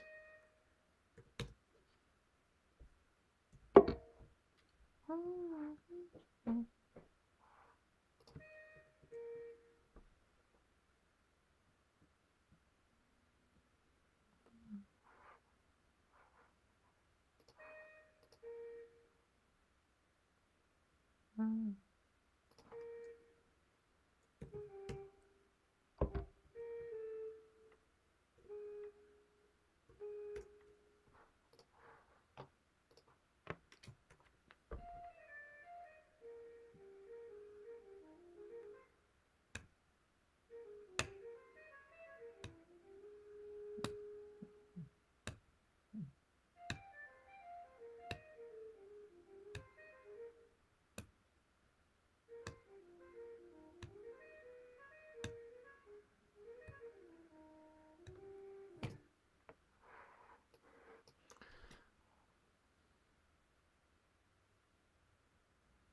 Okay. So,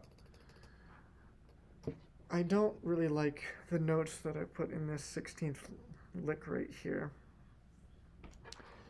Um,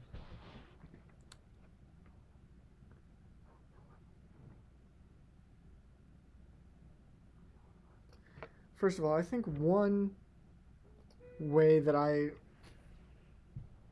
like to get more of a funky vibe rather than a bebop vibe is using less passing notes and things of that nature.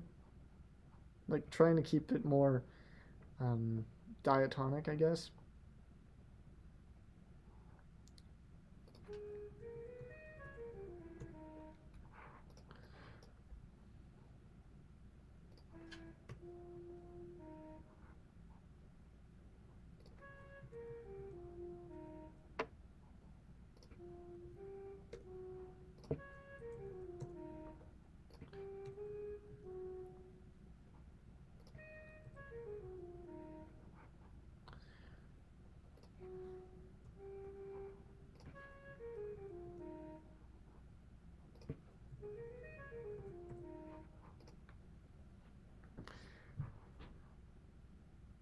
Yeah, see, just from making this last um, beat three more diatonic, it's already starting to sound a little bit more of what I'm going for.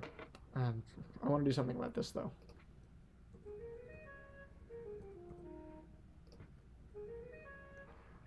What, is the harmony again? It's D flat 7.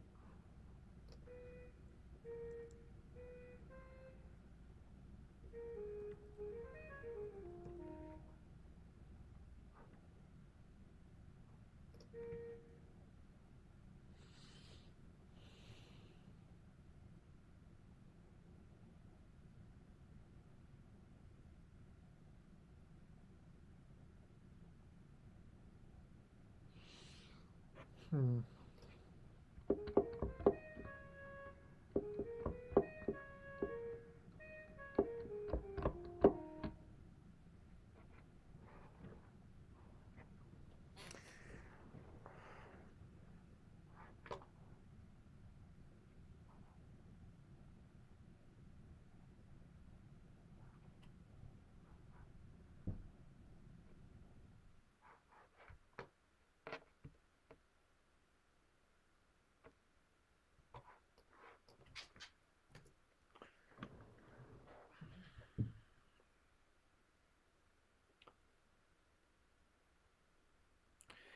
So here's my problem. I'm not really digging the whole idea of having a how I did this 16th note run in general. I kind of want to rework it all together. The problem is um, I've got this other 16th note run at the end that I really like. But I feel like if that's the only double time thing in the whole soli, then it's gonna seem really out of context. And like there there's little things like this, but it if it's just a one beat worth of double time that's like almost not really helping anything. Um, I feel like this last double time lick would be really justified by having an actual double time lick earlier in the chart, earlier on the soli. So, um,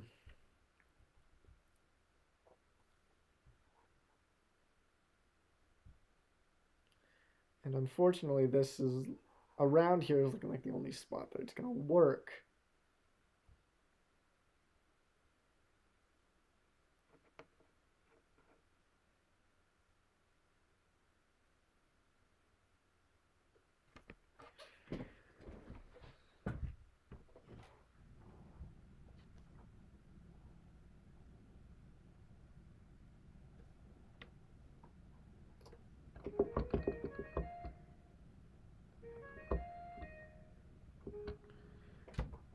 I'm just not liking how I laid this like out.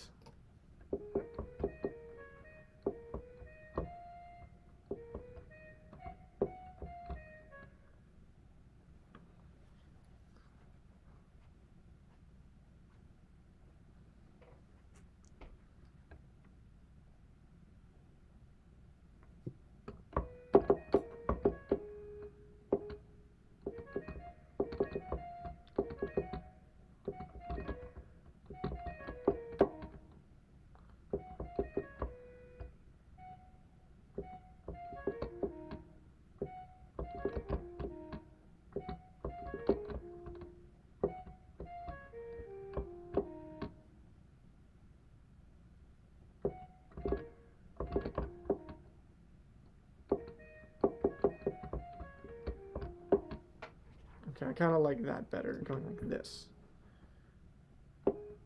No, wait.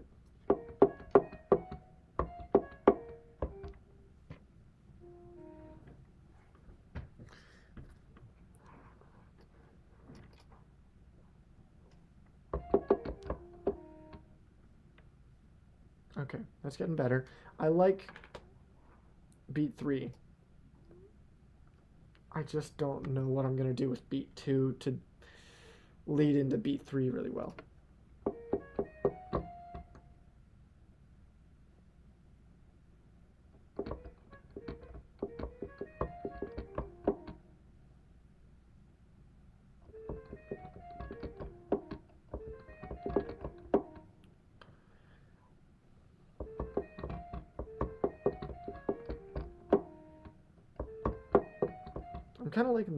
Seventh sound actually.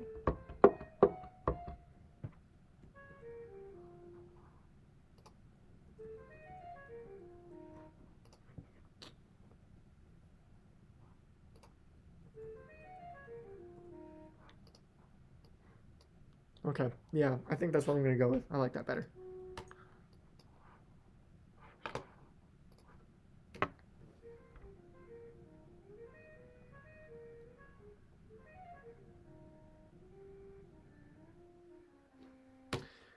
Think I know exactly what the problem was actually. It's like the lick I had before was like really clearly in the key of G flat major because A flat minor D flat 7 is a 2 5 in G flat major. So the modulation back to E flat major was a really clear shift in tonal center, which is exactly what I was trying to avoid. Um, when I said I want to make this more of a funky vibe, but then I have this diminished seventh arpeggio, which is totally devoid of shifting toward, um, pointing towards one tonal center, which I think is exactly what makes this work.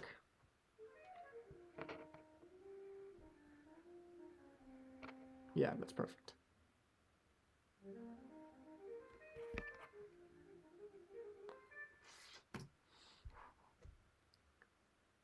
The other thing I'm trying to think about here is like, I want to write a lick that's like gonna feel decently natural to the sax player's fingers because like this is really fast to have a double time lick and it's like it's like right on the cusp of manageable.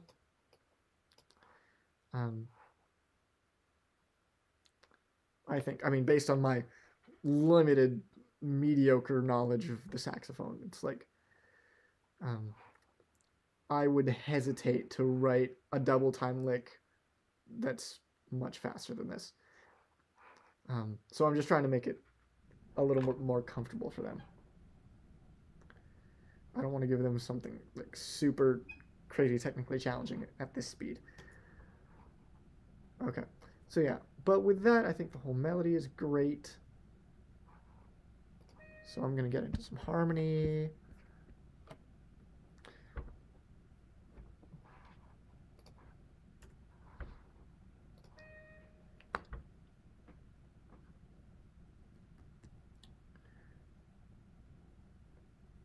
So, when I'm writing sax solis, I've heard that like the thing to strive for is a mixture between four part harmony with the melody doubled, five part harmony, and unison. And I'm gonna start at I'm gonna start out in five part, but unfortunately Sibelius cannot explode five different voices. It can only go up to four. So I'm just gonna write the um, alto and tenor parts in the alto one part, and then I'll write the bari part in later.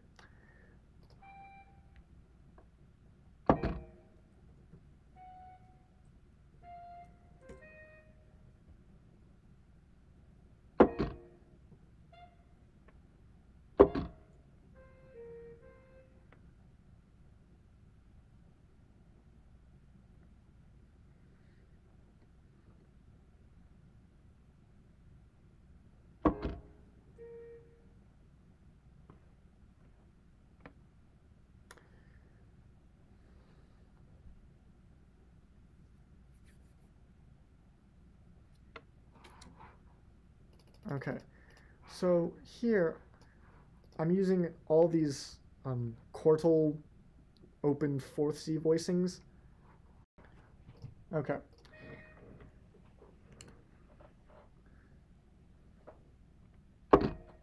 So what I'm doing here is these like quartal open modal voicings, like so what style voicings. Because these are like kind of quintessential, more modern, and I guess more funky vibe, which is exactly what I'm going for.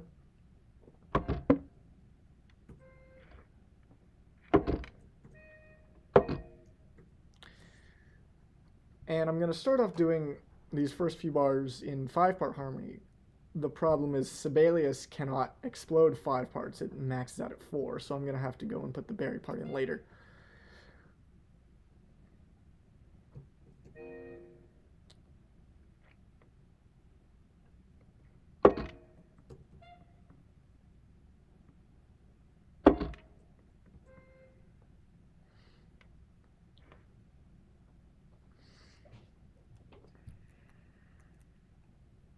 Okay.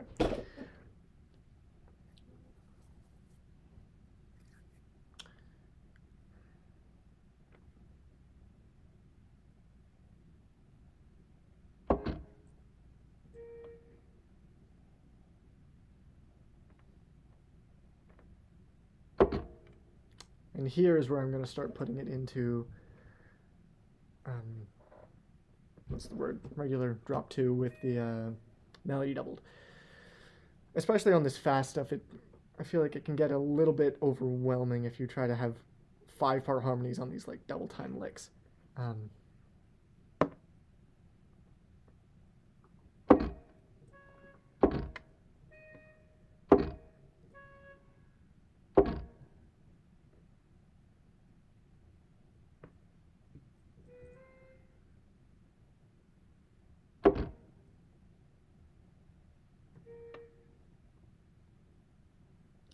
Okay.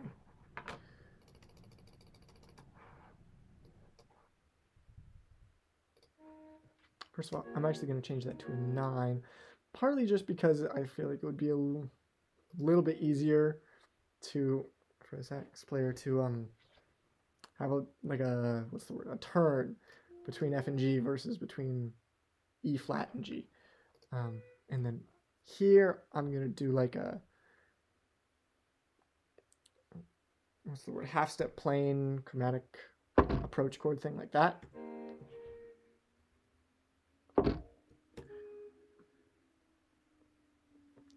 And here, since we're encountering the same problem, 9 and, and root serve the same function, so we would end up with a lot of repeated notes. What I'm going to do is I'm going to put in a diatonic passing chord like that.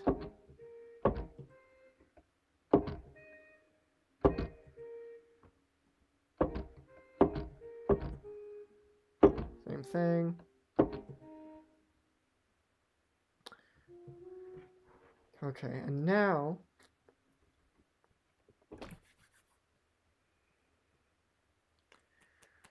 I want to think in terms of target chord, which is this, or I might put a root on the bottom instead of a 9, but something like that.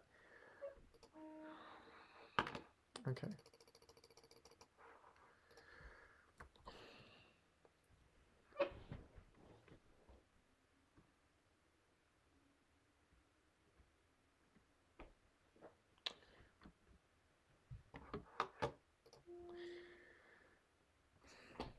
So I could put another chromatic half-step plane thing in here, but I want to keep it all within the scope of A flat major until we get to the and a four and the harmony changes. So I'm gonna, I'm just gonna do like a diatonic neighbor chord,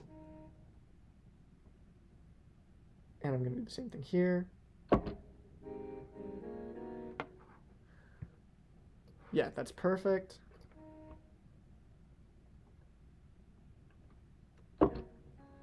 Same thing, diatonic neighbor chord.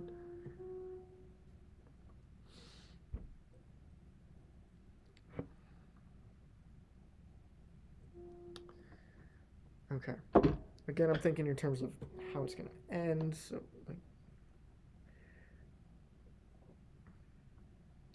we kind of have to have a repeated note in there, um, the C flat, because that chord is you pretty much have to include in both an A flat minor or a D flat 7.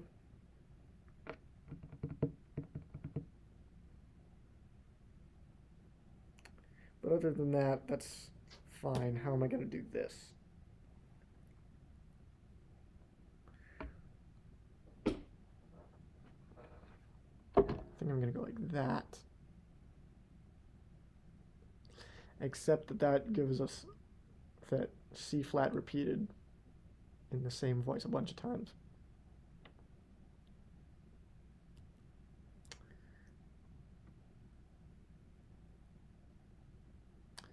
I'm actually going to go like this. Yeah, like that. That's perfect. Okay, we're back to E flat.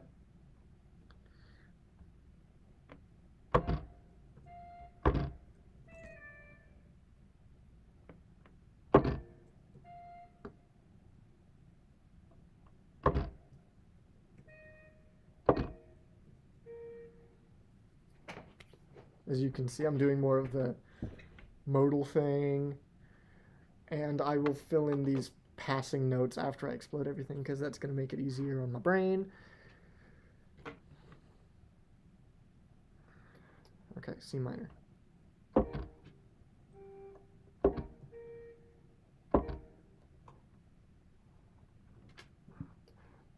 Yeah, F minor.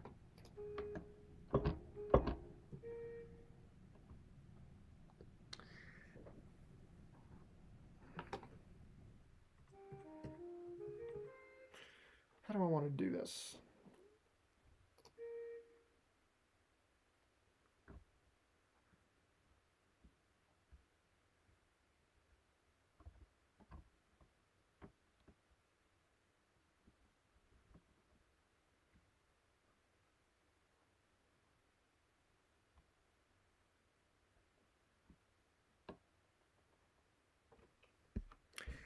I'm thinking I'm doing just like a, whoops, no, a diatonic neighbor chord like that.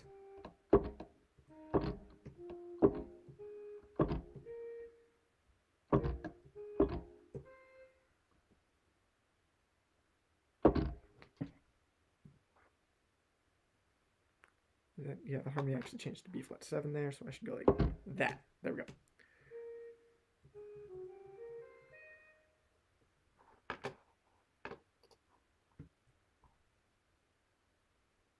Okay, now we're on G half diminished.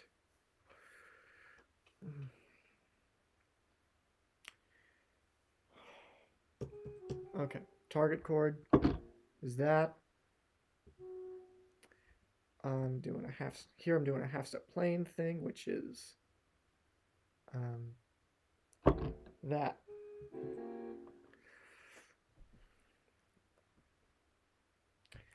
Now, this A flat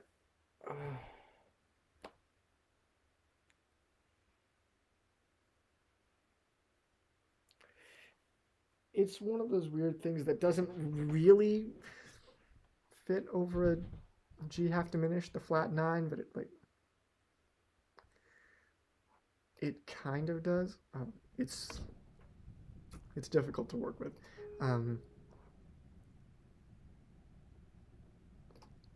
But one thing I want to try.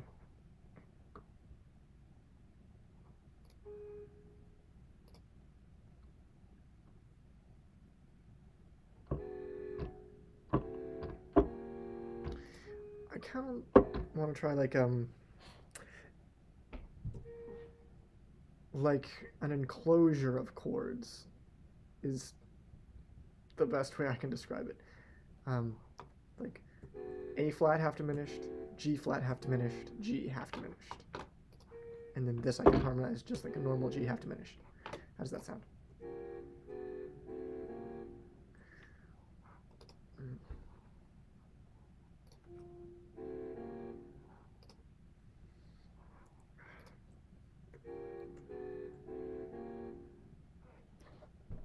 Debating on whether I like this or not.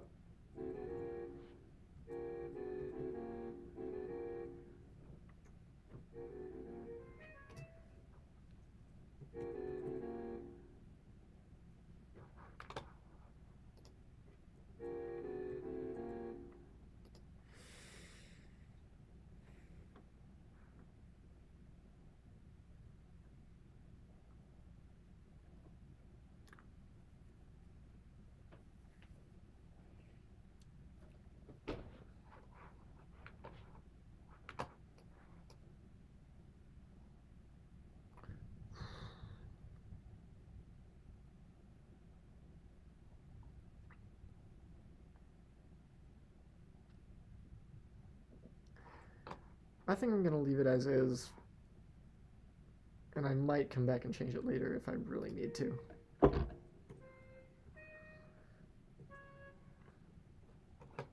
Okay, now C7 flat 9. Most of this is just coming straight out of the diminished scale, so I'm just going to do that.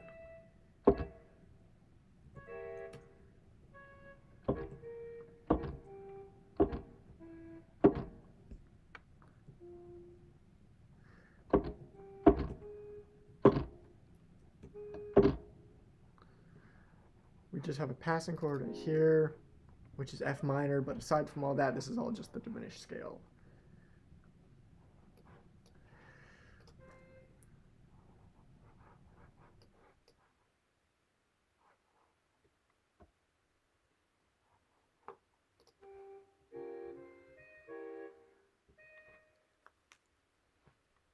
Okay, how do I want to do this?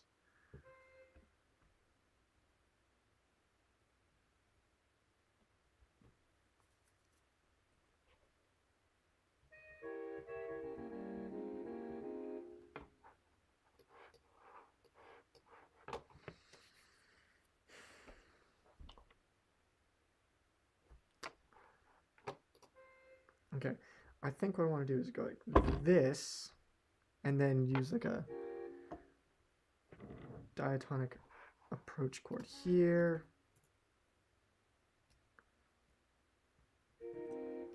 Which would be that.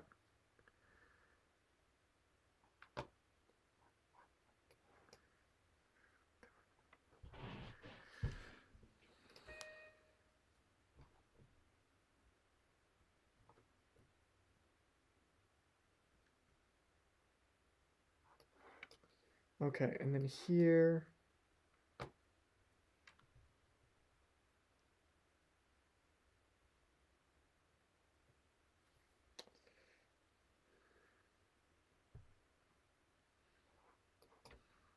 What do I want to do here?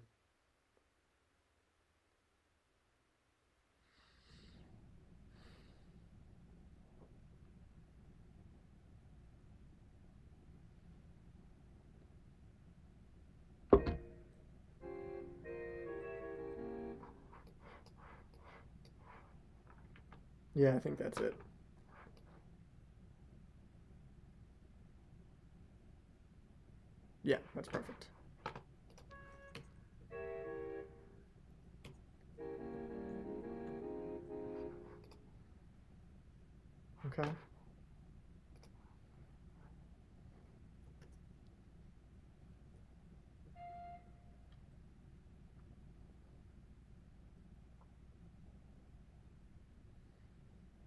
Here.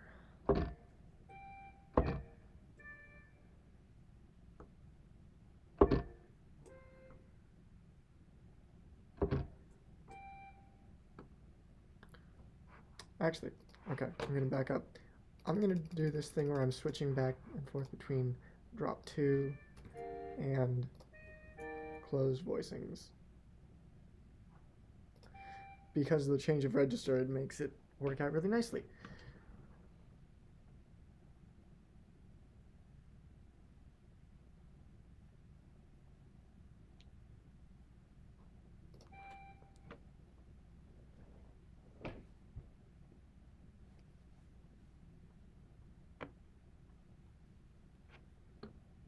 Um,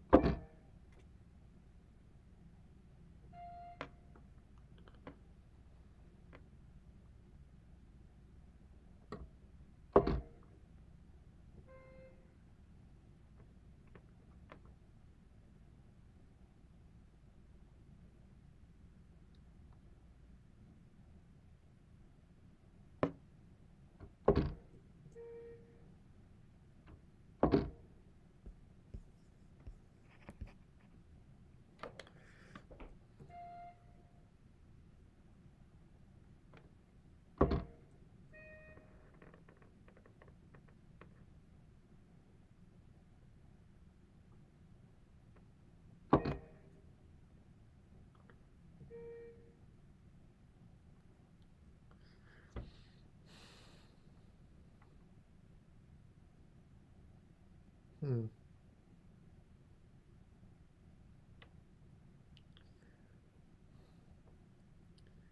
The problem is we we wind up with a couple of repeated notes again. Kind of, I was kind of afraid that was going to happen. Um,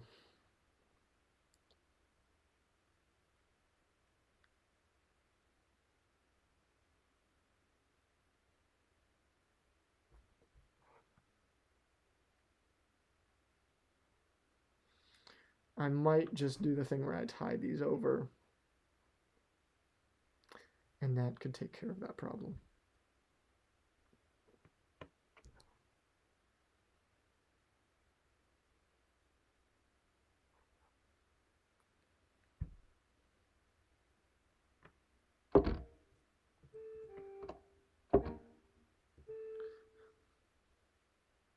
Here, I'm going to use a almost diatonic passing chord, diatonic except for the A.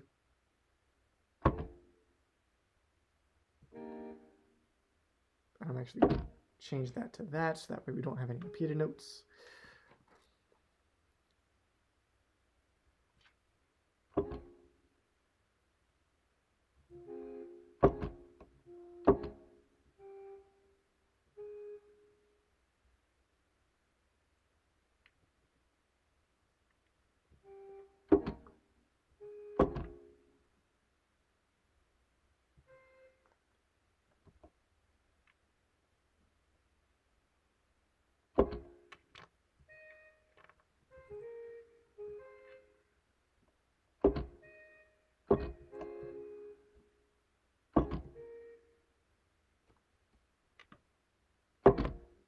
I think I'm gonna go like that, maybe.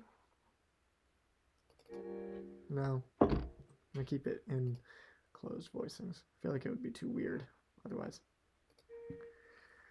Okay, these, I could do the same thing. I'm switching between drop two and closed.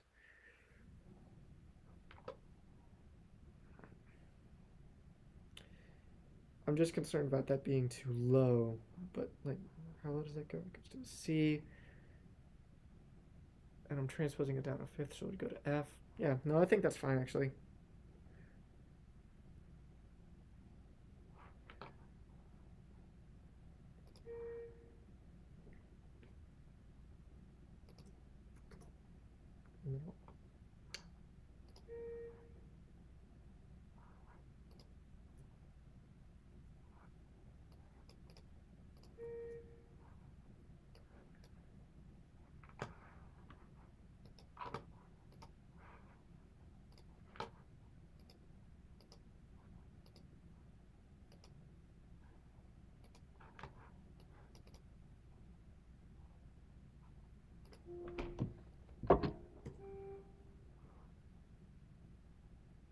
Mm.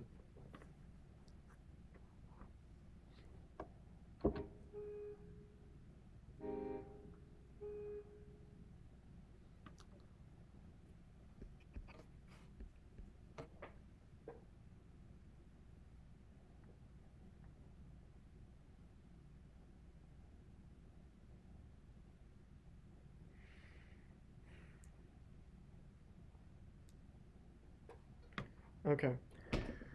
So what I'm going to do here is I'm going to use this um, diminished passing chord thing idea where um, you're switching back and forth between a G diminished seventh chord and an A flat six chord like this. That. Like that. Perfect.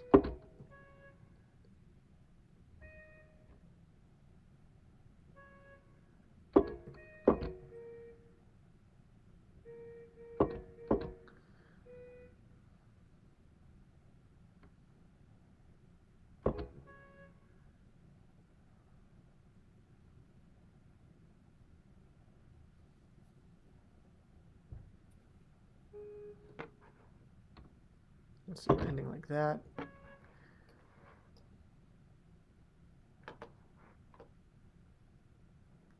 Okay. Uh, what actually what I want to do is I want to go like this.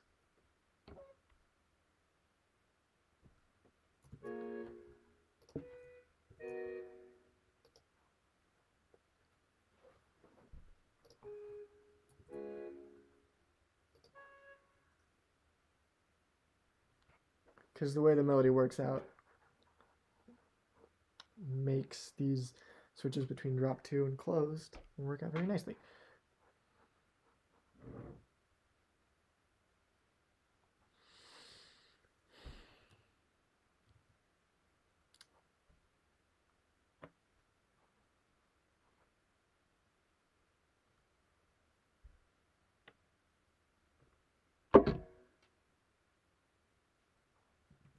Okay, so I'm harmonizing beat four like this, but I want to change it. I'm harmonizing beat three, no, the end of three. I want to get a little better voice leading.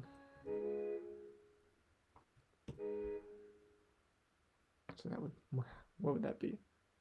Like that. Yeah, that's perfect. No. Like that. That's perfect.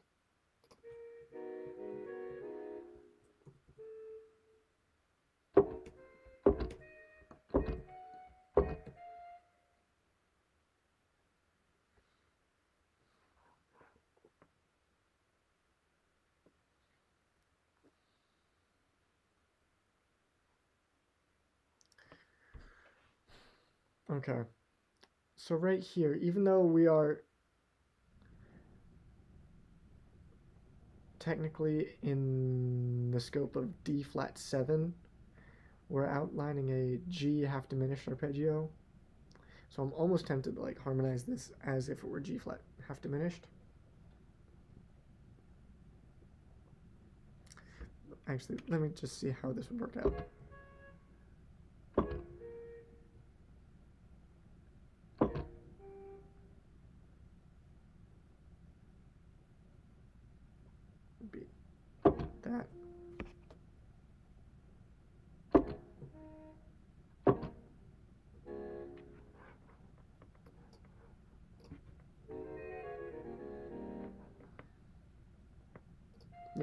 I'm doing the G flat half diminished thing.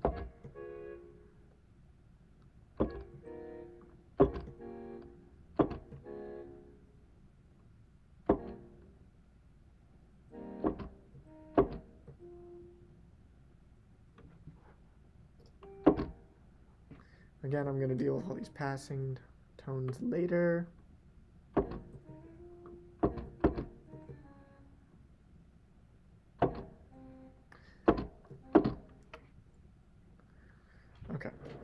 And this ending lick is going to be in unison because we I have not done anything in unison yet. So that is the end of the soli. Um, so after all this, we go back to the bridge and then the last A and the tenor. And then I'm going to put in an outro. And what I'm going to do is I'm going to copy all of this stuff from the intro.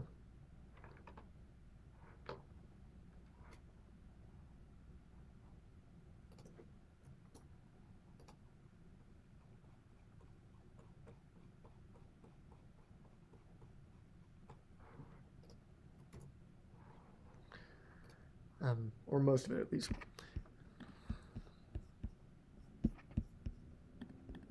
And then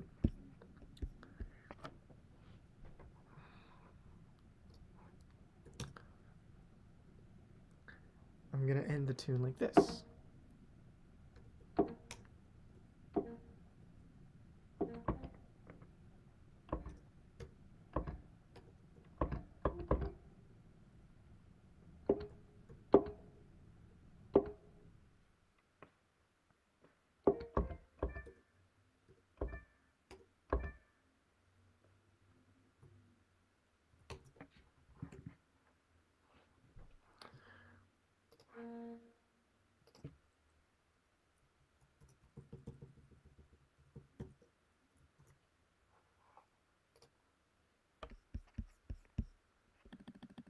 And I'm doing another one of these unison blossom things.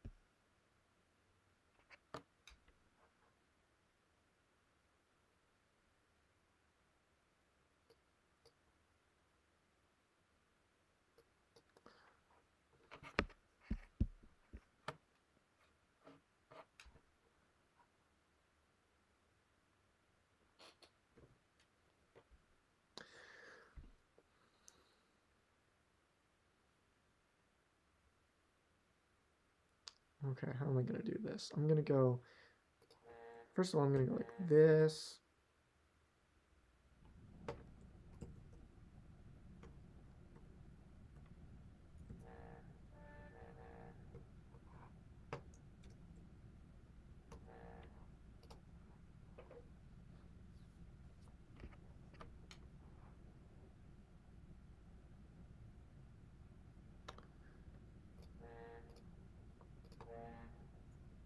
Oops.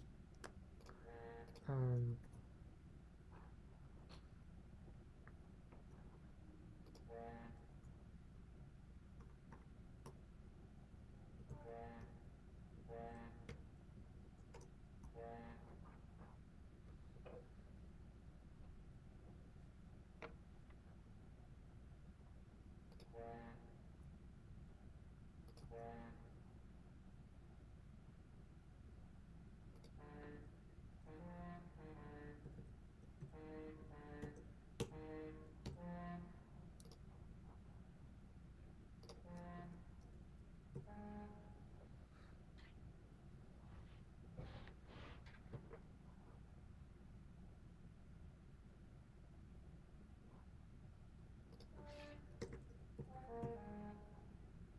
again, I'm starting to think about how I want this to end.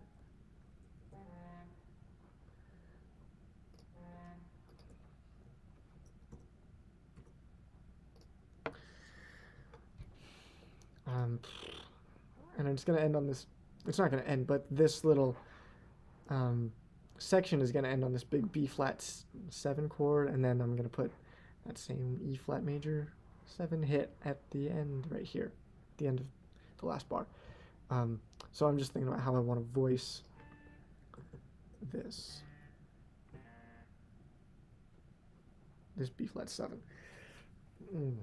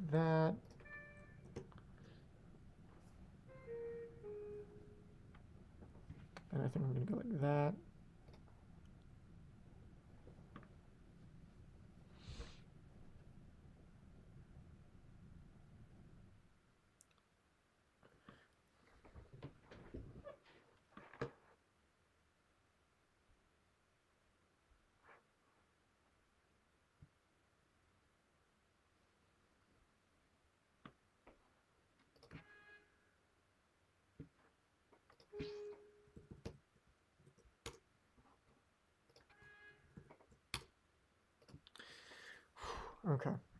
Um, so my thinking here is I, it's gonna like start off in unison, and then it goes to a little bit more color. Like right here, it's gonna be a B flat major triad.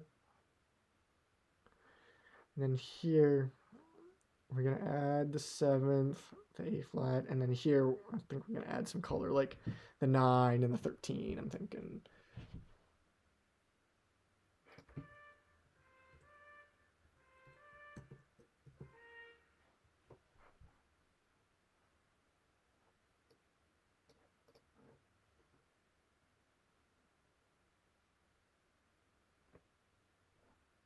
Mm. Okay. I'm actually going to change this. I'm going to go. Mm. You have the seventh. I'm going to give the 13th to there. Perfect.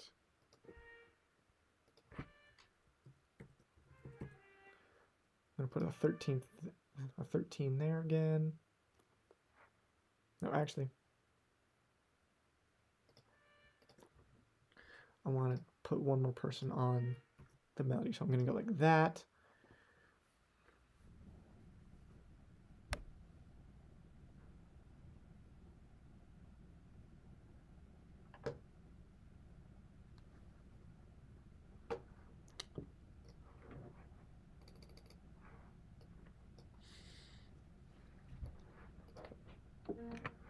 Starts B flat, then then let's see. You go to B flat major, triad.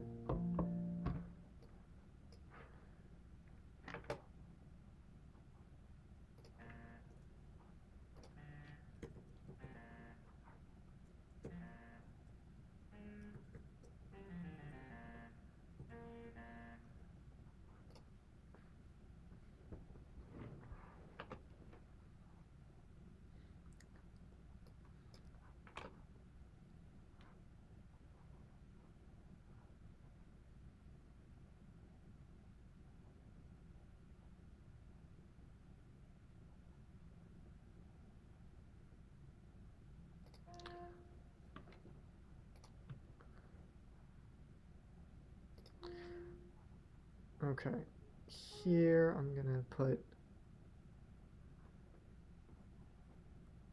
both tenors on the third.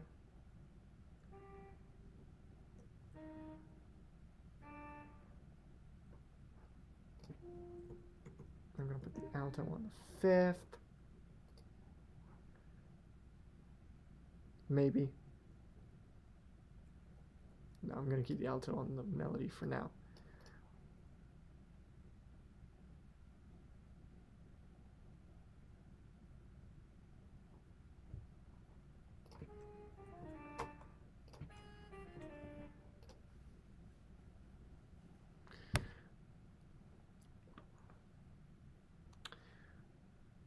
I'm kind of thinking I don't need to worry about harmonizing the passing tones here. Like I can just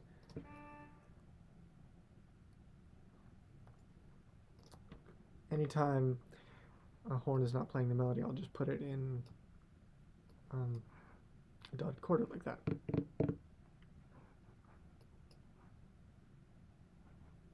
Let me see how this sounds.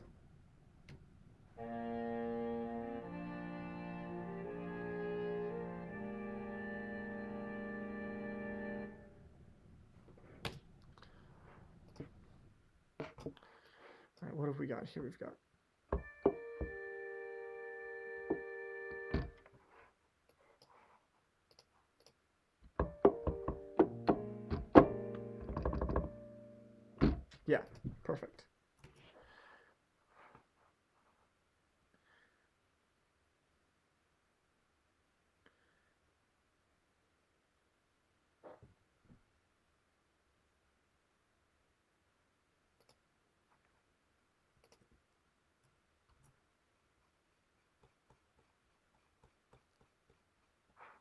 And then we're just going to go here like that.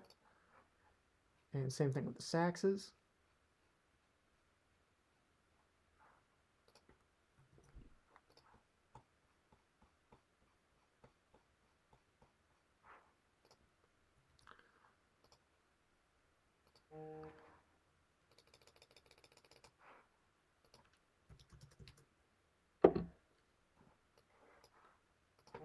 And since we have that in the bari, um,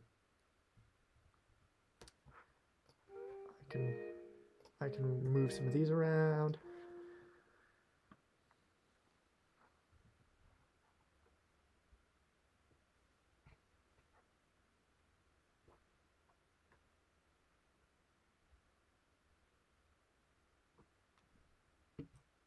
We're gonna go like that. Okay.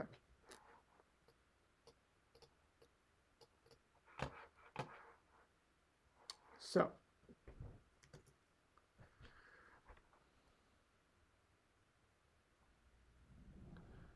with that, that is pretty much how all of the horn parts are going to lay out in here. So, I still have to go through and put in all the rhythm section parts and everything, but this is more or less what the chart is going to look like. So, um, I'm going to call it quits for now. Uh, thank you very much for watching, and I'll see you next time.